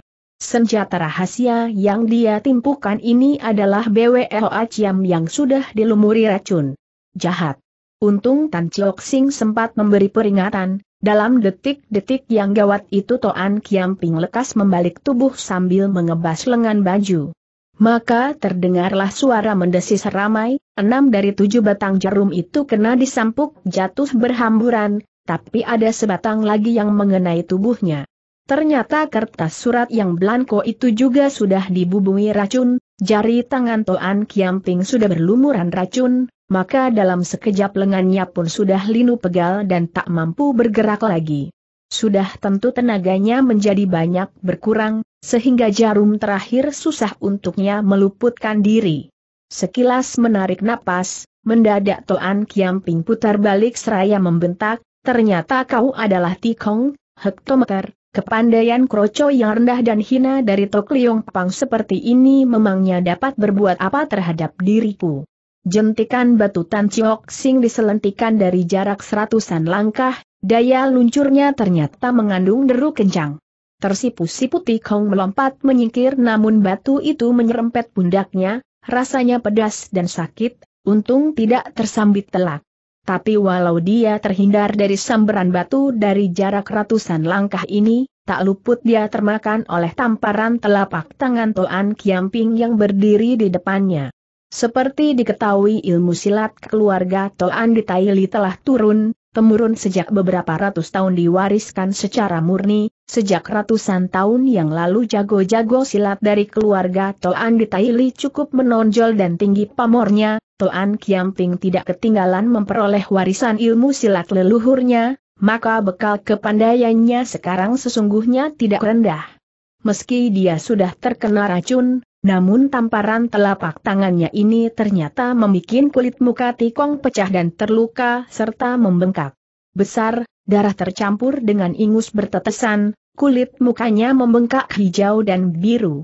Diam-diam Toan Kiamping sendiri mencelos hatinya, Pikir Raya, ternyata aku sudah tak becus lagi, tamparanku tadi ternyata tak mampu merobohkan keparat keji ini. Sudah tentu Tikong sudah angkat langkah seribu, mulutnya masih sempat bersiul, agaknya dia mengirim tanda kontak dengan kamerat-kameratnya. Secepat terbang Tan Chiok Sing memburu tiba di samping Toan Kiamping, kebetulan Toan Kiamping limbung hampir jatuh lekas dan memapahnya, tanyanya gugup, Bagaimana keadaanmu Toan Heng? Tidak apa-apa Ti Hong pasti membawa begundalnya, tolong lekas kau gebah mereka, jangan sampai kacungku di bawah sana dicelakai mereka, maklum sejak kecil kacung itu sudah meladeni dirinya, bukan saja rajin bekerja dia pun amat setia, maka selama ini dia melindunginya seperti adik kandung sendiri. Pada saat itu didengarnya kacungnya berteriak minta tolong dan menjerit kaget. Ternyata kacungnya itu memang kepergok oleh kawanan penjahat. Tak sempat bicara lagi lekas Tan Chiok Sing jejalkan sebutir pil penawar racun ke mulut orang, katanya, baik, segera aku menolongnya. Baru saja kacung cilik itu berteriak maka dilihatnya seorang Hwasyo gendut menubruk ke arah dirinya, Hwasyo gendut ini bukan lain adalah murid murtad Xiao Lim Si yang bergelar Hoat Hong, di kalangan Kangou orang memanggilnya Ti Chiang Su. Kedatangannya hendak membantu Ti Kong, sebetulnya dia tidak perlu hiraukan seorang kacung cilik, tapi karena kacung itu berteriak, kebetulan mencegat jalan majunya pula, maka sambil lalu dia ayun tongkat besinya hendak membunuh kacung cilik ini. Tak nyana tongkat besinya. Ternyata menyambar angin, kembali dia ulur tangan mencengkram ternyata gagal pula. Maklum sejak kecil kacung ini ikut Toan Kiamping latihan silat, pertama ginkang yang dia yakinkan ternyata lebih menonjol dari pelajaran silat lain yang pernah dia pelajari. Beruntun dua kali dia berhasil mengegus dari serangan Hosio Gendut, tapi serangan ketiga jelas tak mungkin lolos lagi. Baru saja dia melompat berdiri, tumit kakinya tahu-tahu sudah tercengkram oleh Ti Chiang Siansu. Pada saat itulah mendadak Ti Chiang Su merasakan datangnya sambaran angin tajam dari arah belakang, sebagai ahli silat, kupingnya cukup tajam pula, dia tahu sebilah pedang tahu-tahu sudah menuding tiba di punggungnya. dikala jiwa sendiri terancam bahaya, sudah tentu dia tidak hiraukan jiwa kacung cilik lagi, sekenanya dia melempar tubuh orang lalu setangkas kera dia melompat maju setombak lebih seraya memutar tongkat menyapu ke belakang dengan jurus bertempur di empat penjuru angin. Terang benturan keras menimbulkan percikan kembang api, pedang lawan hakikatnya tidak terbentur jatuh oleh tongkatnya yang besar dan berat, malah mengikis turun menabas jari-jarinya yang memegang tongkat. Siapa gerangan yang memiliki ilmu pedang setinggi dan selihai ini? Sudah tentu Tici yang Siansu amat kaget, lekas dia tekan tongkat serta menggiringnya ke pinggir, sementara kakinya melompat pula tiga kaki ke samping, baru dia menoleh dan melihat musuhnya, ternyata pemuda yang pernah dilihatnya di tempat kuburan In Hou dan Tan Him Ang belasan hari yang lalu. Malam itu dia bersama Tikong, Xiang Posan, Foa Lat Hang berempat menempur Siang Kiam Hapik dari Tan Chiok Sing dan Insan, akhirnya mereka dikalahkan dan ngacir. Kini meski hanya Tan Chiok Sing seorang saja, tapi dia pun hanya sendirian, betapapun besar nyalinya, bagaimana juga dia tidak berani melabrak Tan Chiok Sing. Tanpa banyak pikir lekas dia putar badan terus lari turun gunung. Waktu Tan Chiok Sing lari balik menengok keadaan kacung cilik itu, Tampak kacung cilik ini terlempar tinggi ke udara, tapi di tengah badan terapung itu dia mampu jumpalitan seperti burung dara, gerakan ini sekaligus memunahkan daya lemparan keras lawan, sehingga tubuhnya melayang turun lebih lambat dan enteng, waktu kedua kakinya hinggap di bumi ternyata dia mampu berdiri tegak tanpa kurang suatu apa. Walau tidak terluka tapi telapak kakinya terasa pedas dan sakit, Waktu dia menunduk pergelangan kakinya ternyata berjalur lima jari warna hitam seperti dicap saja, tanpa merasa dia merinding dan mencucurkan keringat dingin. Adik cilik, kata Tan Chiok Sing, jangan takut, mari ku beri obat. Teringat akan kata-katanya yang memburukan orang, tak terasa kacung cilik ini menjadi malu dan haru, katanya menyesal, Tan Siang Kong, banyak terima kasih akan pertolonganmu, aku, Aku tadi justru melakukan perbuatan tercela atas dirimu. Ciok Sing tersenyum. Istirahatlah sebentar, aku akan ke atas memeriksa Xiao Ongjia. Dilihatnya Ti Chiang Xiansu sudah menyusul Ti Kong dan sama-sama lari sampai di lamping gunung, sekitarnya tiada musuh yang lain, maka dengan lega hati lekas dia kembangkan ginkang berlari ke atas panggung batu pula. Dilihatnya Toan Kiamping sedang duduk bersimpuh, uap putih tampak mengepul di atas kepalanya. Oh, kau sudah kembali, kuping Toan Kiamping ternyata amat tajam, begitu. Tan Chiok Sing tiba di atas panggung segera dia membuka mata. Jangan bicara dulu, kata Tan Chiok Sing, dia tahu orang sedang mengerahkan Iwakang untuk mendesak racun keluar dari dalam badannya lewat uap dan keringat, sehingga mengeluarkan bau bacin. Lekas Tan Chiok Sing tekan telapak tangan punggung orang, dengan hawa murni sendiri dia salurkan ke tubuh orang membantunya melancarkan jalan darahnya.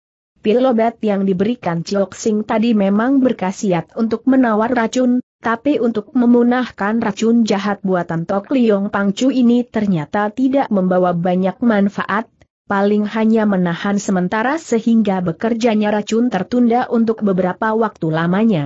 Untung Toan Kiamping memiliki dasar iwekang ajaran leluhurnya, mendapat bantuan Ciok Sing lagi, hawa racun lambat laun menguap keluar badan, Ciok Sing sedikit mahir ilmu pengobatan, setelah dia memeriksa urat nadinya, terasa jiwanya sudah tidak terancam lagi, maka legalah hatinya. Tapi denyut nadi Toan Kiamping masih lemah, darahnya pun belum normal. Dalam hati Ciok Sing membatin, racun dalam tubuhnya amat lihai, untuk memunahkan seluruhnya tanpa obat penawarnya yang tulen, sedikitnya memerlukan perawatan tekun dan hati-hati selama tiga bulan, maka dia perlu mendapat penjagaan dan tempat yang aman. M, seharusnya aku harus membantunya, tapi dalam keadaan seperti ini, aku jadi kurang cocok untuk tugas ini. Tengah melamun, Toan Kiamping sudah membuka mata, katanya, sudah lebih baik, Tan Heng, banyak terima kasih akan pertolonganmu, sungguh aku tidak tahu bagaimana aku harus membalas kebaikanmu. Kau berkata demikian, berarti kau tidak menganggapku sebagai sahabat karib lagi. Jangan banyak bicara, setelah kesehatanmu pulih, kita masih banyak waktu untuk ngobrol. Tidak, satu hal harus ku beritahu padamu. Kuda kalian akulah yang mengambilnya sebelum sempat memberitahu padamu. Kukira kau dan Nona In tidak akan kembali ke Taili, maka aku wakilkan Kang Lam Siang Hiap mengambilnya supaya kau tidak usah putar balik pula, demikianlah kata Toan Kiamping tanpa hiraukan nasihat Chiok Sing.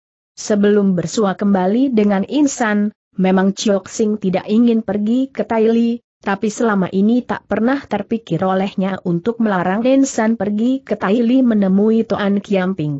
Mendengar perkataan orang tanpa merasa dia tertawa getir, katanya, hal itu sudah ku ketahui. Tapi, yang betul kau harus bertemu dengan Nona En.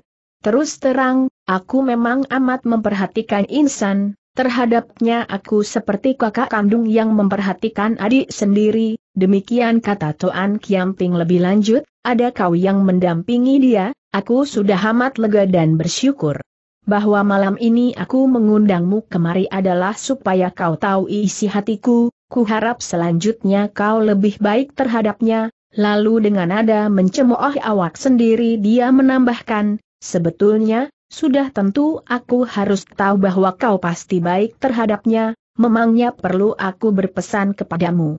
Ruat pikiran Ciok Sing, katanya, bicara soal Nonain, aku memang ingin berunding dengan kau. Kini giliran Toan Kiamping yang mencegah dia bicara. Tan Heng, aku tahu apa yang ingin kau kemukakan, tak usah kau jelaskan lagi. Setulus hati dan sejujurnya aku memberi selamat kepada kalian, semoga kalian hidup senang dan bahagia sampai di hari tua. Bahwa pikiran Ciok Sing ruwet, demikian pula hati Toan Kiamping kalut dan risau.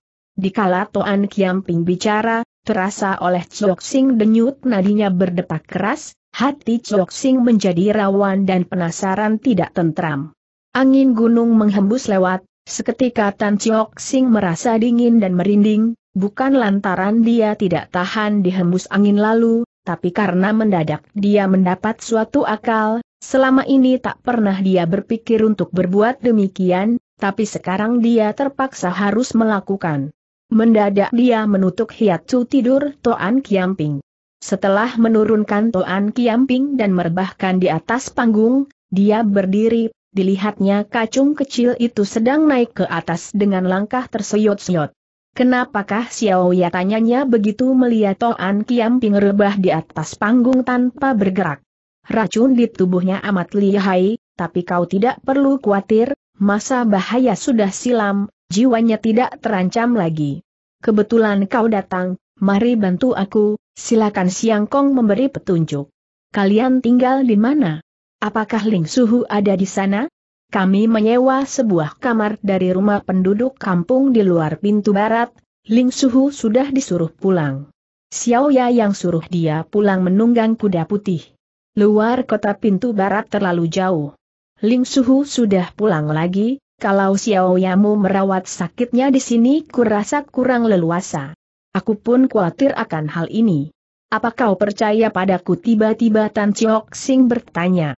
Kacung itu melongot, katanya, jiwaku dan Xiao Ya bisa selamat berkat pertolongan Tan Siang Kong, bagaimana aku tidak bisa percaya padamu.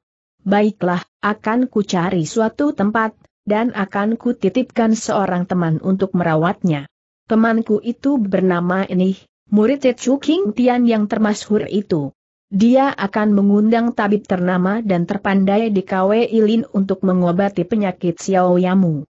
Baiklah kalau begitu. Marilah sekarang kita berangkat. Biar aku gendong Xiao Ya. Jangan kau membuang tenaga, biar aku yang menggendongnya. Tan Siang Kong, kata si kacung rikuh, bantuanmu teramat besar terhadap kami, Mana boleh kau memanggul Xiao Ya lagi? Tugas ini sepantasnya serahkan padaku. Kakiku sudah tidak sakit lagi. Kalau kau ingin membantu juga boleh, nah kau bantu memanggul harpaku saja. Ciok Sing turunkan harpanya tapi tidak langsung diserahkan, seperti ada sesuatu yang dipikirkan, mendadak dia membuka kotak harpa serta diletakkan di atas panggung batu, mulailah dia memetik senar-senar harpanya. Sudah tentu si kacung berdiri bingung, batinnya, eh, ada juga seleranya memetik harpa dalam suasana seperti ini. Tan Chiok Sing seperti tahu isi hatinya, katanya, Chuan mudamu sedang tidur nyenyak, lukanya tidak akan memburuk. Mungkin untuk terakhir kali inilah aku bisa memetik harpa ini. Si kacung kaget, tanyanya, kenapa tak lama lagi kau akan tahu? Melihat rona muka orang yang kelam, si kacung tak berani tanya lagi, segera dia terima kotak harpa yang diangsurkan.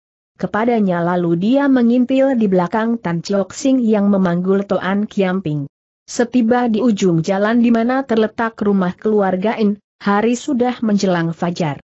Tiba-tiba Tan Chiok Sing turunkan Toan Kiamping, katanya rumah besar dengan pintu merah di tengah jalan itu adalah rumah keluarga In, lekas kau bawa Xiao Yamu masuk ke sana.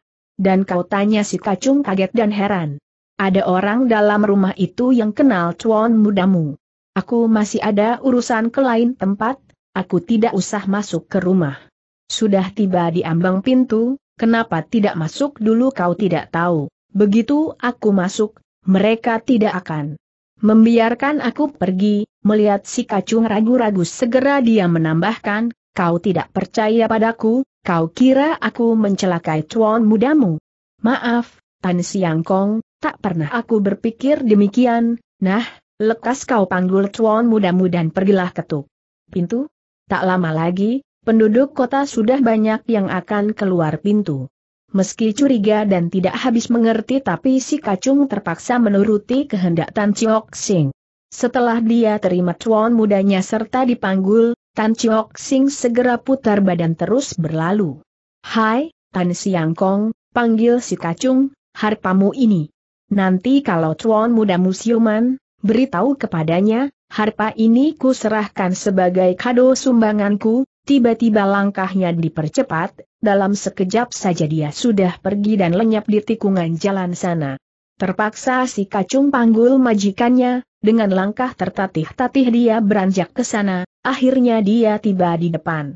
Pintu besar cat merah itu serta ulur tangan mengetuk gelang tembaga di atas daun pintu sebanyak tiga kali. Cepat sekali daun pintu sudah terpentang, yang keluar ternyata seorang gadis jelita yang berwajah lesu dan lusuh. Kaget dan girang si kacung, seketika dia menjerit girang, teriaknya, Nonain, kiranya kau ada di sini, dalam hati dia pun membatin, Tak heran tadi Tan Siang Kong bilang ada orang yang ku kenal ada di sini. Semalam suntuk insan tidak pernah memejam mata barang sekejap, hatinya gelisah, risau dan gugup pula menunggu kedatangan Tan Chiok Sing. Lekas insan bertanya, apakah yang terjadi?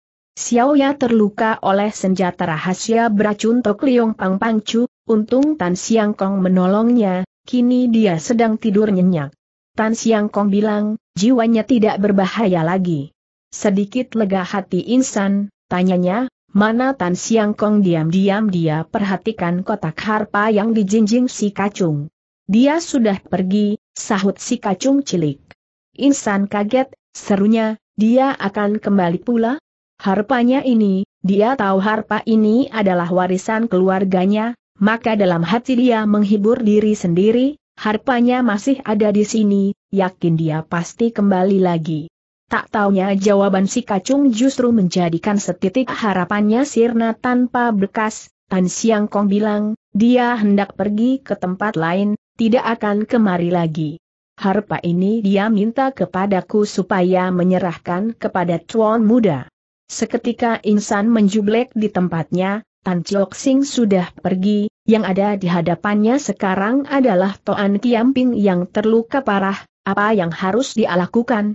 Dalam pada itu Ingih sudah mendengar percakapan di luar terus beranjak keluar, kebetulan dia mendengar si kacung berteriak, Nona, kenapa kau? Sudah tentu Ingih ikut terkejut, tanyanya, siapakah orang ini Nona N? Kau tidak apa-apa bukan? Seketika insan tersentak, katanya, inilah Xiao Ong ya dari keluarga Toan di Taili, teman baik Chiok Sing. Paman In, Tolong kau bantu aku merawat dia, aku hendak keluar sebentar. Kau hendak ke mana tanya ini? Aku akan mencari Chok Sing, sebelum Ming sempat bertanya apa sebetulnya yang telah terjadi, Insan sudah berlari pergi. Karuan Neni dan si Kacung sama berdiri melongo saling pandang. Akhirnya si Kacung paham duduk persoalannya. Dia maklum apa yang dikatakan majikannya memang tidak salah. Agaknya Nona In memang mencintai Tan Siang Kong, sekaligus dia pun mengerti apa sebabnya Tan Chiok Sing tidak mau ikut dia masuk ke rumah keluarga In pula. Tan titik Siang Kong ternyata begini baik, ai, semalam aku memakinya kodok buduk, agaknya akulah yang kurang ajar dan tidak genah, tanpa terasa hatinya menjadi hambar dan masgul, entah apakah dia mengharap Insan berhasil menemukan Tan Chiok Sing dan mengajak kembali atau lebih baik gagal saja. Sudah tentu Insan takkan bisa menemukan Tan Chiok Sing, kalau Tan Chiok Sing sengaja menyembunyikan diri, bagaimana mungkin dia bisa menyanda atau menemukan jejaknya? Jalan raya dalam kota masih sepi lengang, belum ada penduduk kota yang keluar pintu, Hakikatnya dia tidak tahu ke arah mana Ciok Sing pergi. Kepada siapa pula dia harus tanya ke mana juntrungan Ciok Sing. Dikala insan mencari Ciok Sing ubek-ubekan ke segala pelosok kota, sementara itu Tan Ciok Sing sudah jauh meninggalkan kota Kwe Ilin. Dengan hati yang tidak karuan rasanya dia menempuh perjalanan seorang diri harpa kuno itu dia serahkan kepada Toan Kiamping demi menepati janjinya sendiri, walaupun soal janji sendiri ini tidak atau belum pernah dia utarakan langsung kepada Toan Kiamping. Sepanjang jalan semula dia tidak punya tujuan tertentu, tapi akhirnya dia mendapat suatu ilam, dalam dunia ini kini hanya KH Ulo Ciampu saja adalah sahabat karib kakek dan ayah yang masih hidup, dia begitu sayang dan prihatin akan diriku, kenapa aku tidak mencari dia saja? Sekaligus aku bisa memberi laporan akan keinginannya membantu Yit Chuking Tian itu sudah kulaksanakan dengan baik. Seperti diketahui warung minum KHUT ditutup. Tapi dia ada memberitahu kepada Chiok Sing di mana dirinya bisa ditemukan, Malah pernah dia berpesan bila urusannya di KW Ilin selesai dan kebetulan lewat diharap dia mampir ke tempat kediamannya. Di Ongjusan jarak lebih dekat sekaligus lebih leluasa mencari tahu tentang berita yang terjadi di Ganbun Koan. Markas besar Kim Chu Chechu didirikan di luar Ganbun Koan kedudukannya di tengah antara Tiongkok dan Watsu yang tak tercapai oleh kekuatan militer kedua negara ini. Bila Insan tidak jadi pergi ke markas Kim Chu Chechu sesuai rencana semula dia akan membantu Kim Chu Chechu, kalau sebaliknya meski selanjutnya dia tidak akan unjuk diri, dia bertekad akan selalu membantu gerakan Laskar Rakyat. Setelah mengambil keputusan, Tan Chiok Sing langsung menuju ke Ongjusan. Sepanjang jalan tiada terjadi apa-apa, selama dua bulan perjalanan, Akhirnya dia tiba di bawah Hongjusan yang terletak di perbatasan Holem Soase. Warung milik KHUT dulu sudah ambruk dan rata dengan tanah, mungkin digerebek tentara dan dibakar habis. KHUT pernah memberitahu padanya, bahwa tempat pengasingannya di Ongjusan terletak di puncak Jwi Hang di belakang ngarai, dengan pemandangan yang mempersona. Malam itu Chok Sing bermalam di dalam hutan, Semalam suntuk dia hampir tidak bisa tidur diganggu oleh pekik dan suara ribut orang-orang hutan, untung dirinya tidak diganggu. Hari kedua setelah mentari terbit baru dia beranjak lebih lanjut memanjat cewek Iwi Hang puncak tertinggi dari Ongjusan. Setiba di belakang ngarai betul juga ditemukan sebuah gubuk bambu, di depan gubuk tumbuh sebatang pohon cemara, demikian pula di belakang rumah juga terdapat sebuah pohon cemara, tempatnya cocok dengan apa yang pernah dilukiskan oleh KHUT tempo hari. Girang Tan Chiok Sing, bergegas dia maju mengetuk pintu. Lama dia tidak mendapat jawaban, dalam rumah tiada reaksi lagi, akhirnya Tan Chiok Sing berteriak, KH Ulo Ciampual, aku adalah Tan Chiok Sing sengaja aku bertandang kemari.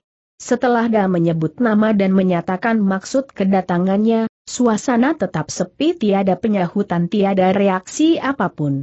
Keruan timbul rasa curiga Ciok Sing, Mungkinkah aku kesasar rumah ini tempat tinggal orang lain akhirnya dia membesarkan hati, tanpa peduli apakah dalam rumah ada penghuninya, setelah mohon permisi segera dia dorong daun pintu terus melangkah masuk.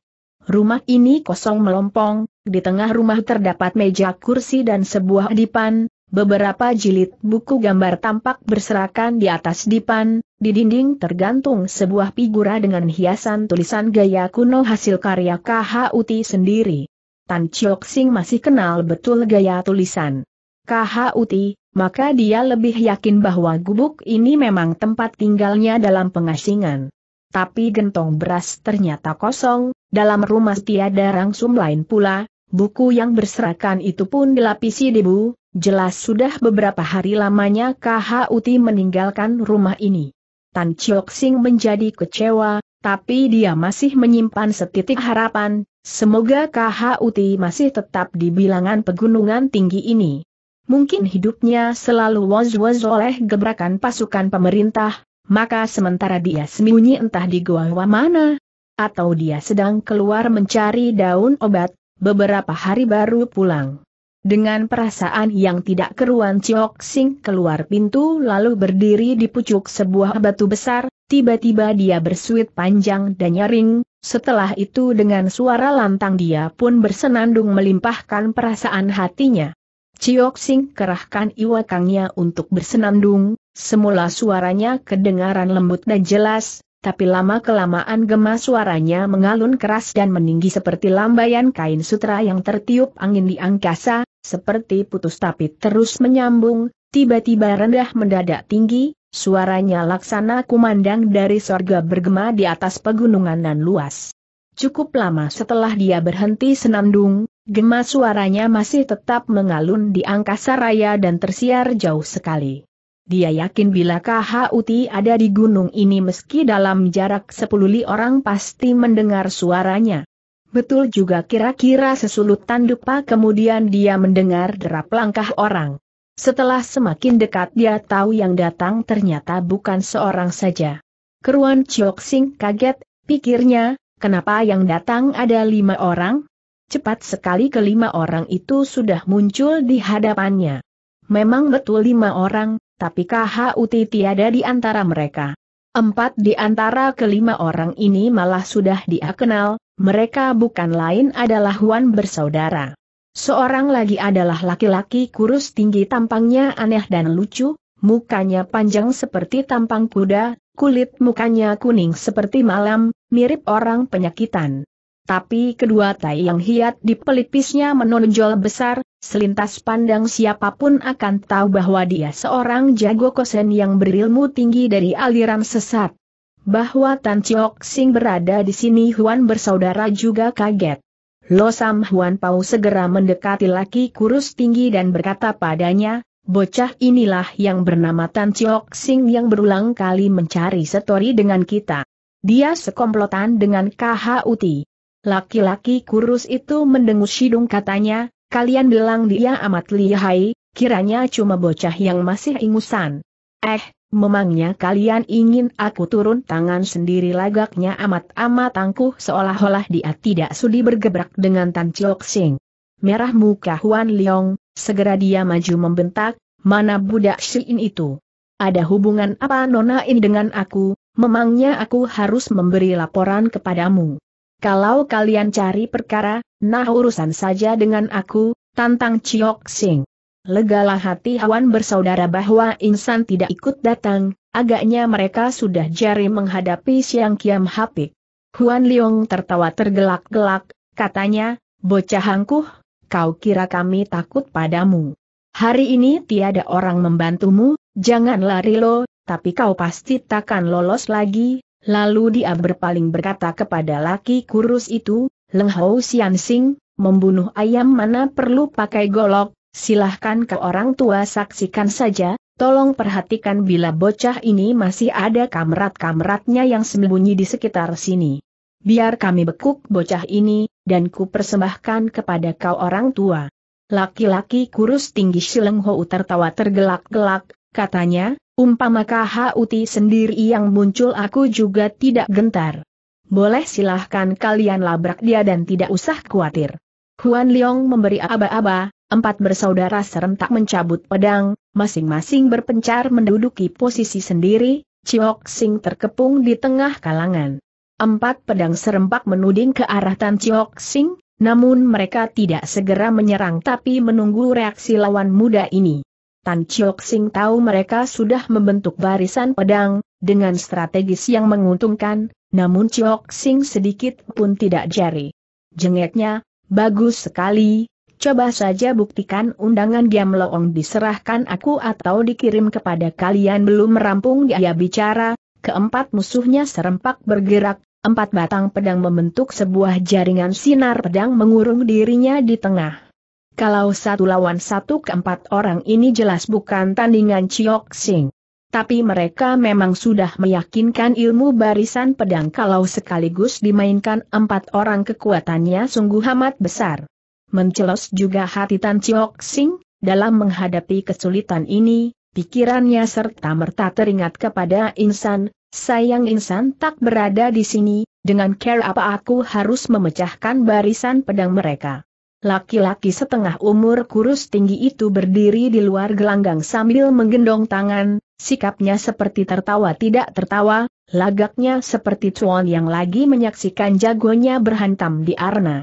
Di samping senang dia merasa was-was, dasar licik dia berpikir, barisan pedang Huan bersaudara ternyata memang cukup lihai, agaknya aku tidak perlu turun tangan, sebetulnya dia mengharap keempat orang ini kalah, baru dirinya akan jadi lakon mengalahkan dan membekuk Chok Sing yang sudah kehabisan tenaga, bukan saja dia bakal unjuk gengsi sekaligus dia hendak menekan dan menundukkan orang-orang sekoleganya. Di samping rasa was-wasnya dia pun merasa bersyukur pula, ilmu pedang bocah ini ternyata amat lihai pula, bila permulaan gebrak aku lantas harus menghadapinya, Umpama akhirnya berhasil membekuk dia mungkin aku sendiri juga bisa menderita. Kali ini kesempatan merebut pahala memang tak bisa kuraih, namun mending juga daripada aku menderita. Perlu diketahui laki-laki kurus tinggi ini bernama Leng Ho Yong, salah satu jago tangguh undangan Liong Bun Kong yang disogoknya, dengan harta dan pangkat untuk menjadi anak buahnya, Leng Hou Yong menggantikan jabatan Chiang Tihou yang sudah mampus di tangan It Chuking Tian. Toako, teriak Huan Pao. Bocah ini takkan kuat bertahan lagi, ayo pergencar serangan tak usah takut menghadapinya. Tak kira belum lenyap suaranya mendadak terang, pedang Huan Pao hampir terlepas dari cekalannya karena benturan keras dari senjata Tan Chiok Sing. Dalam sekejap ini beruntung Chiok Sing gunakan Jong Jiu Hoat secara kilat dia balas mendesak, demikian pula telapak tangan Huan Kiao dan Huan Hao terasa linu pedas. Keringat seketika gemerobios membasahi dahi, jelas kelihatan mereka sudah kerahkan setaker tenaga tapi apa daya tenaga tak sampai untuk menghadapi kekuatan lawan. Karena tak berhasil menjebol barisan pedang lawan, terbayang oleh Chok Sing berbagai care untuk memecah dan membobol kepungan musuh.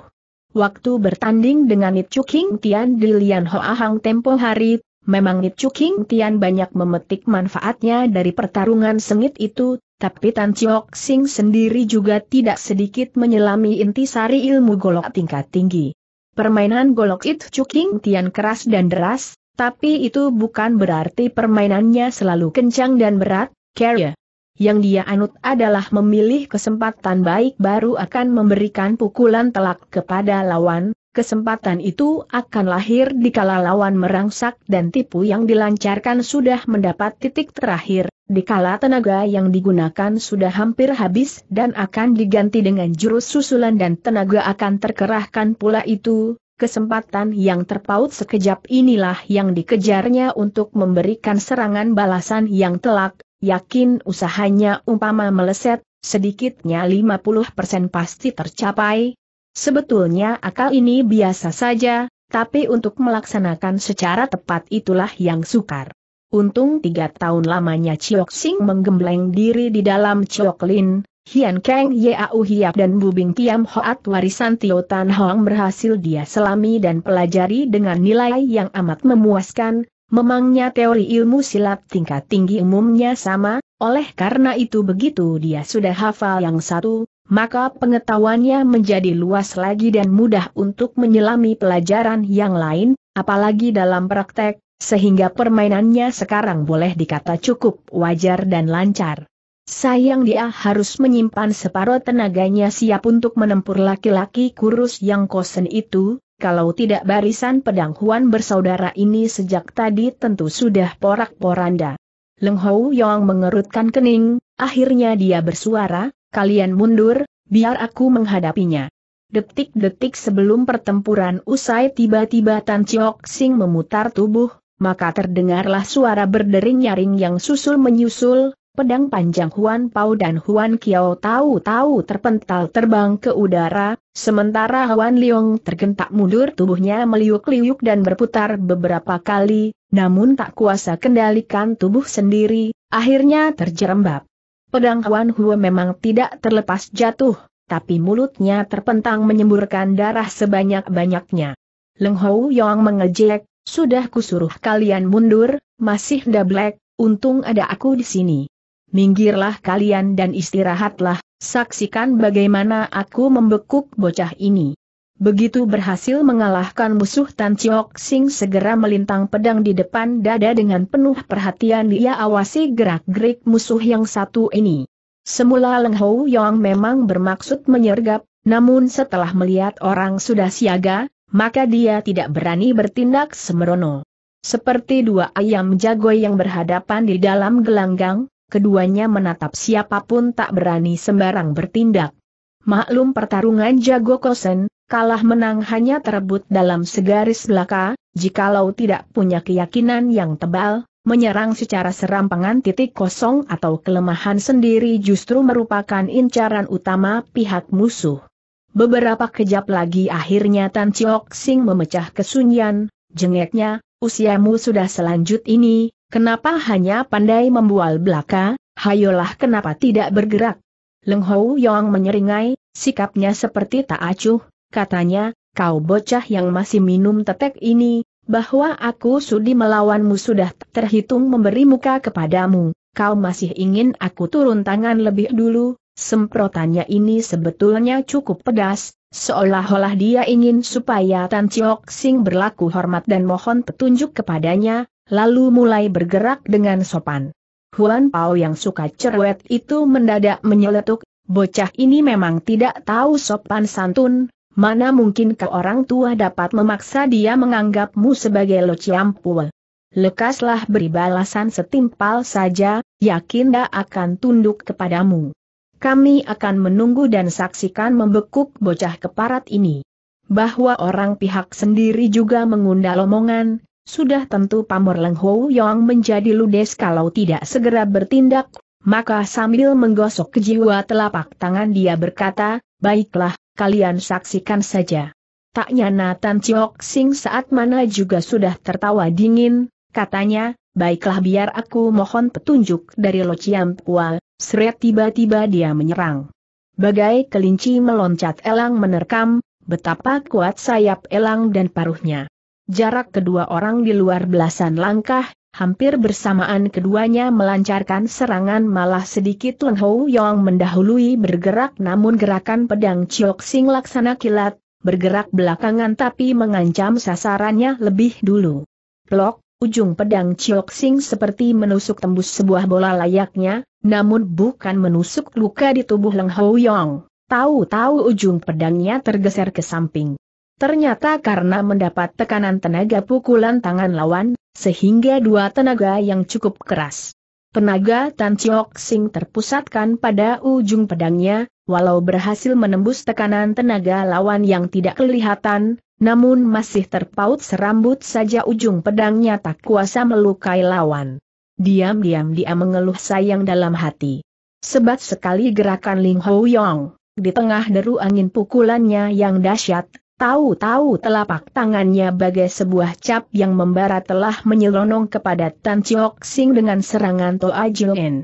Jari tengah tangan kiri Tan Chiok Sing yang bergerak mengimbangi gerak pedangnya tiba-tiba terjulur keluar menutup Lo Kiong Hiat di tengah telapak tangan lawan.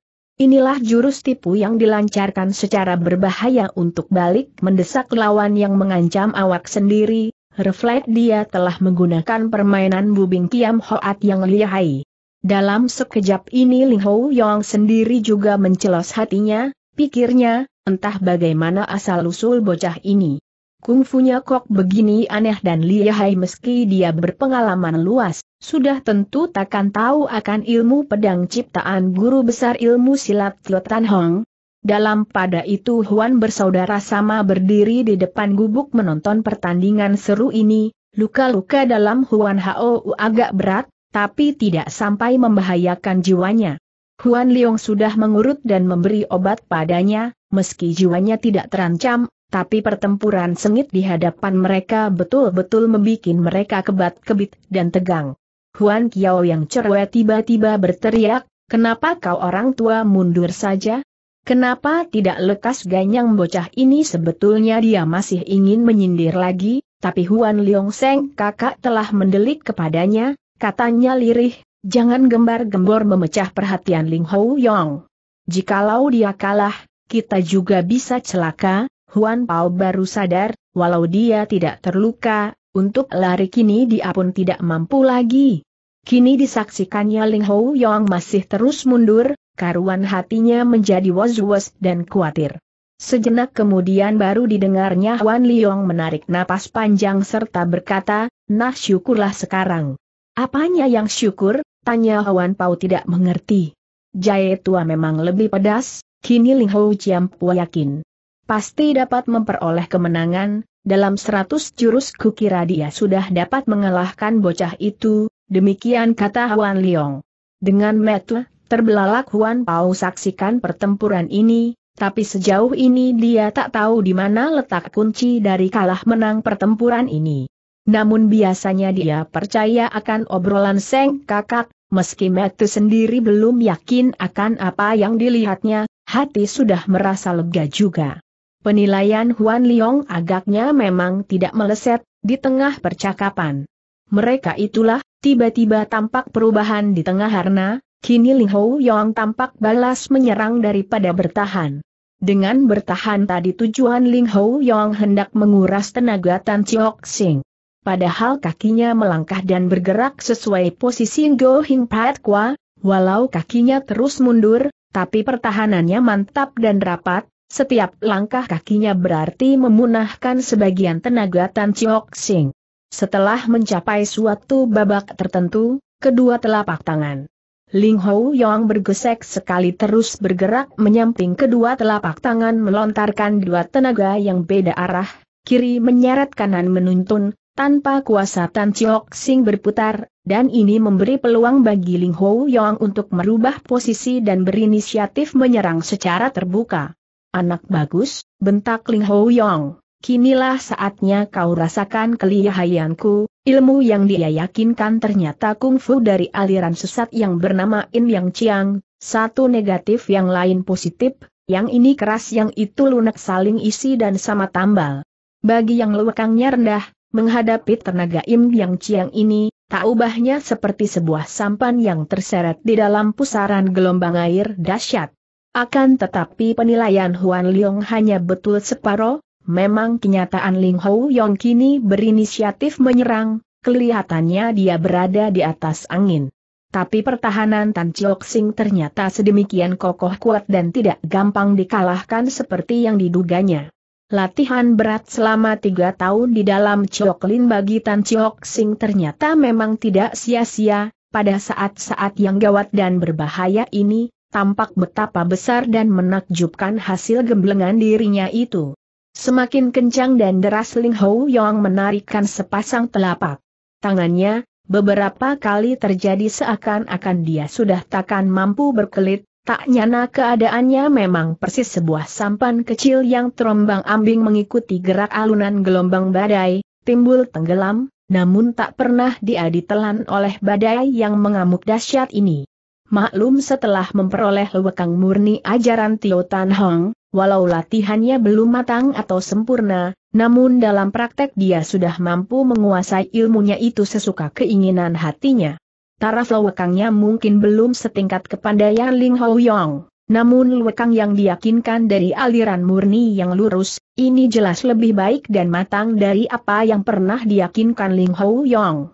Maka keulatan dan ketahanannya yang kokoh dan lama sungguh di luar dugaan Ling Hou Yong. Apalagi Bubing Kiam Hoat memang peranti menghadapi segala serangan perubahan serta melayaninya sesuai situasi dan kondisi, pedangnya itu ternyata mampu membendung segala serangan Ling Hou Yong dan dalam waktu dekat jelas lawan takkan mampu menundukkan dia. Tanpa terasa pertempuran sudah mencapai seratus jurus.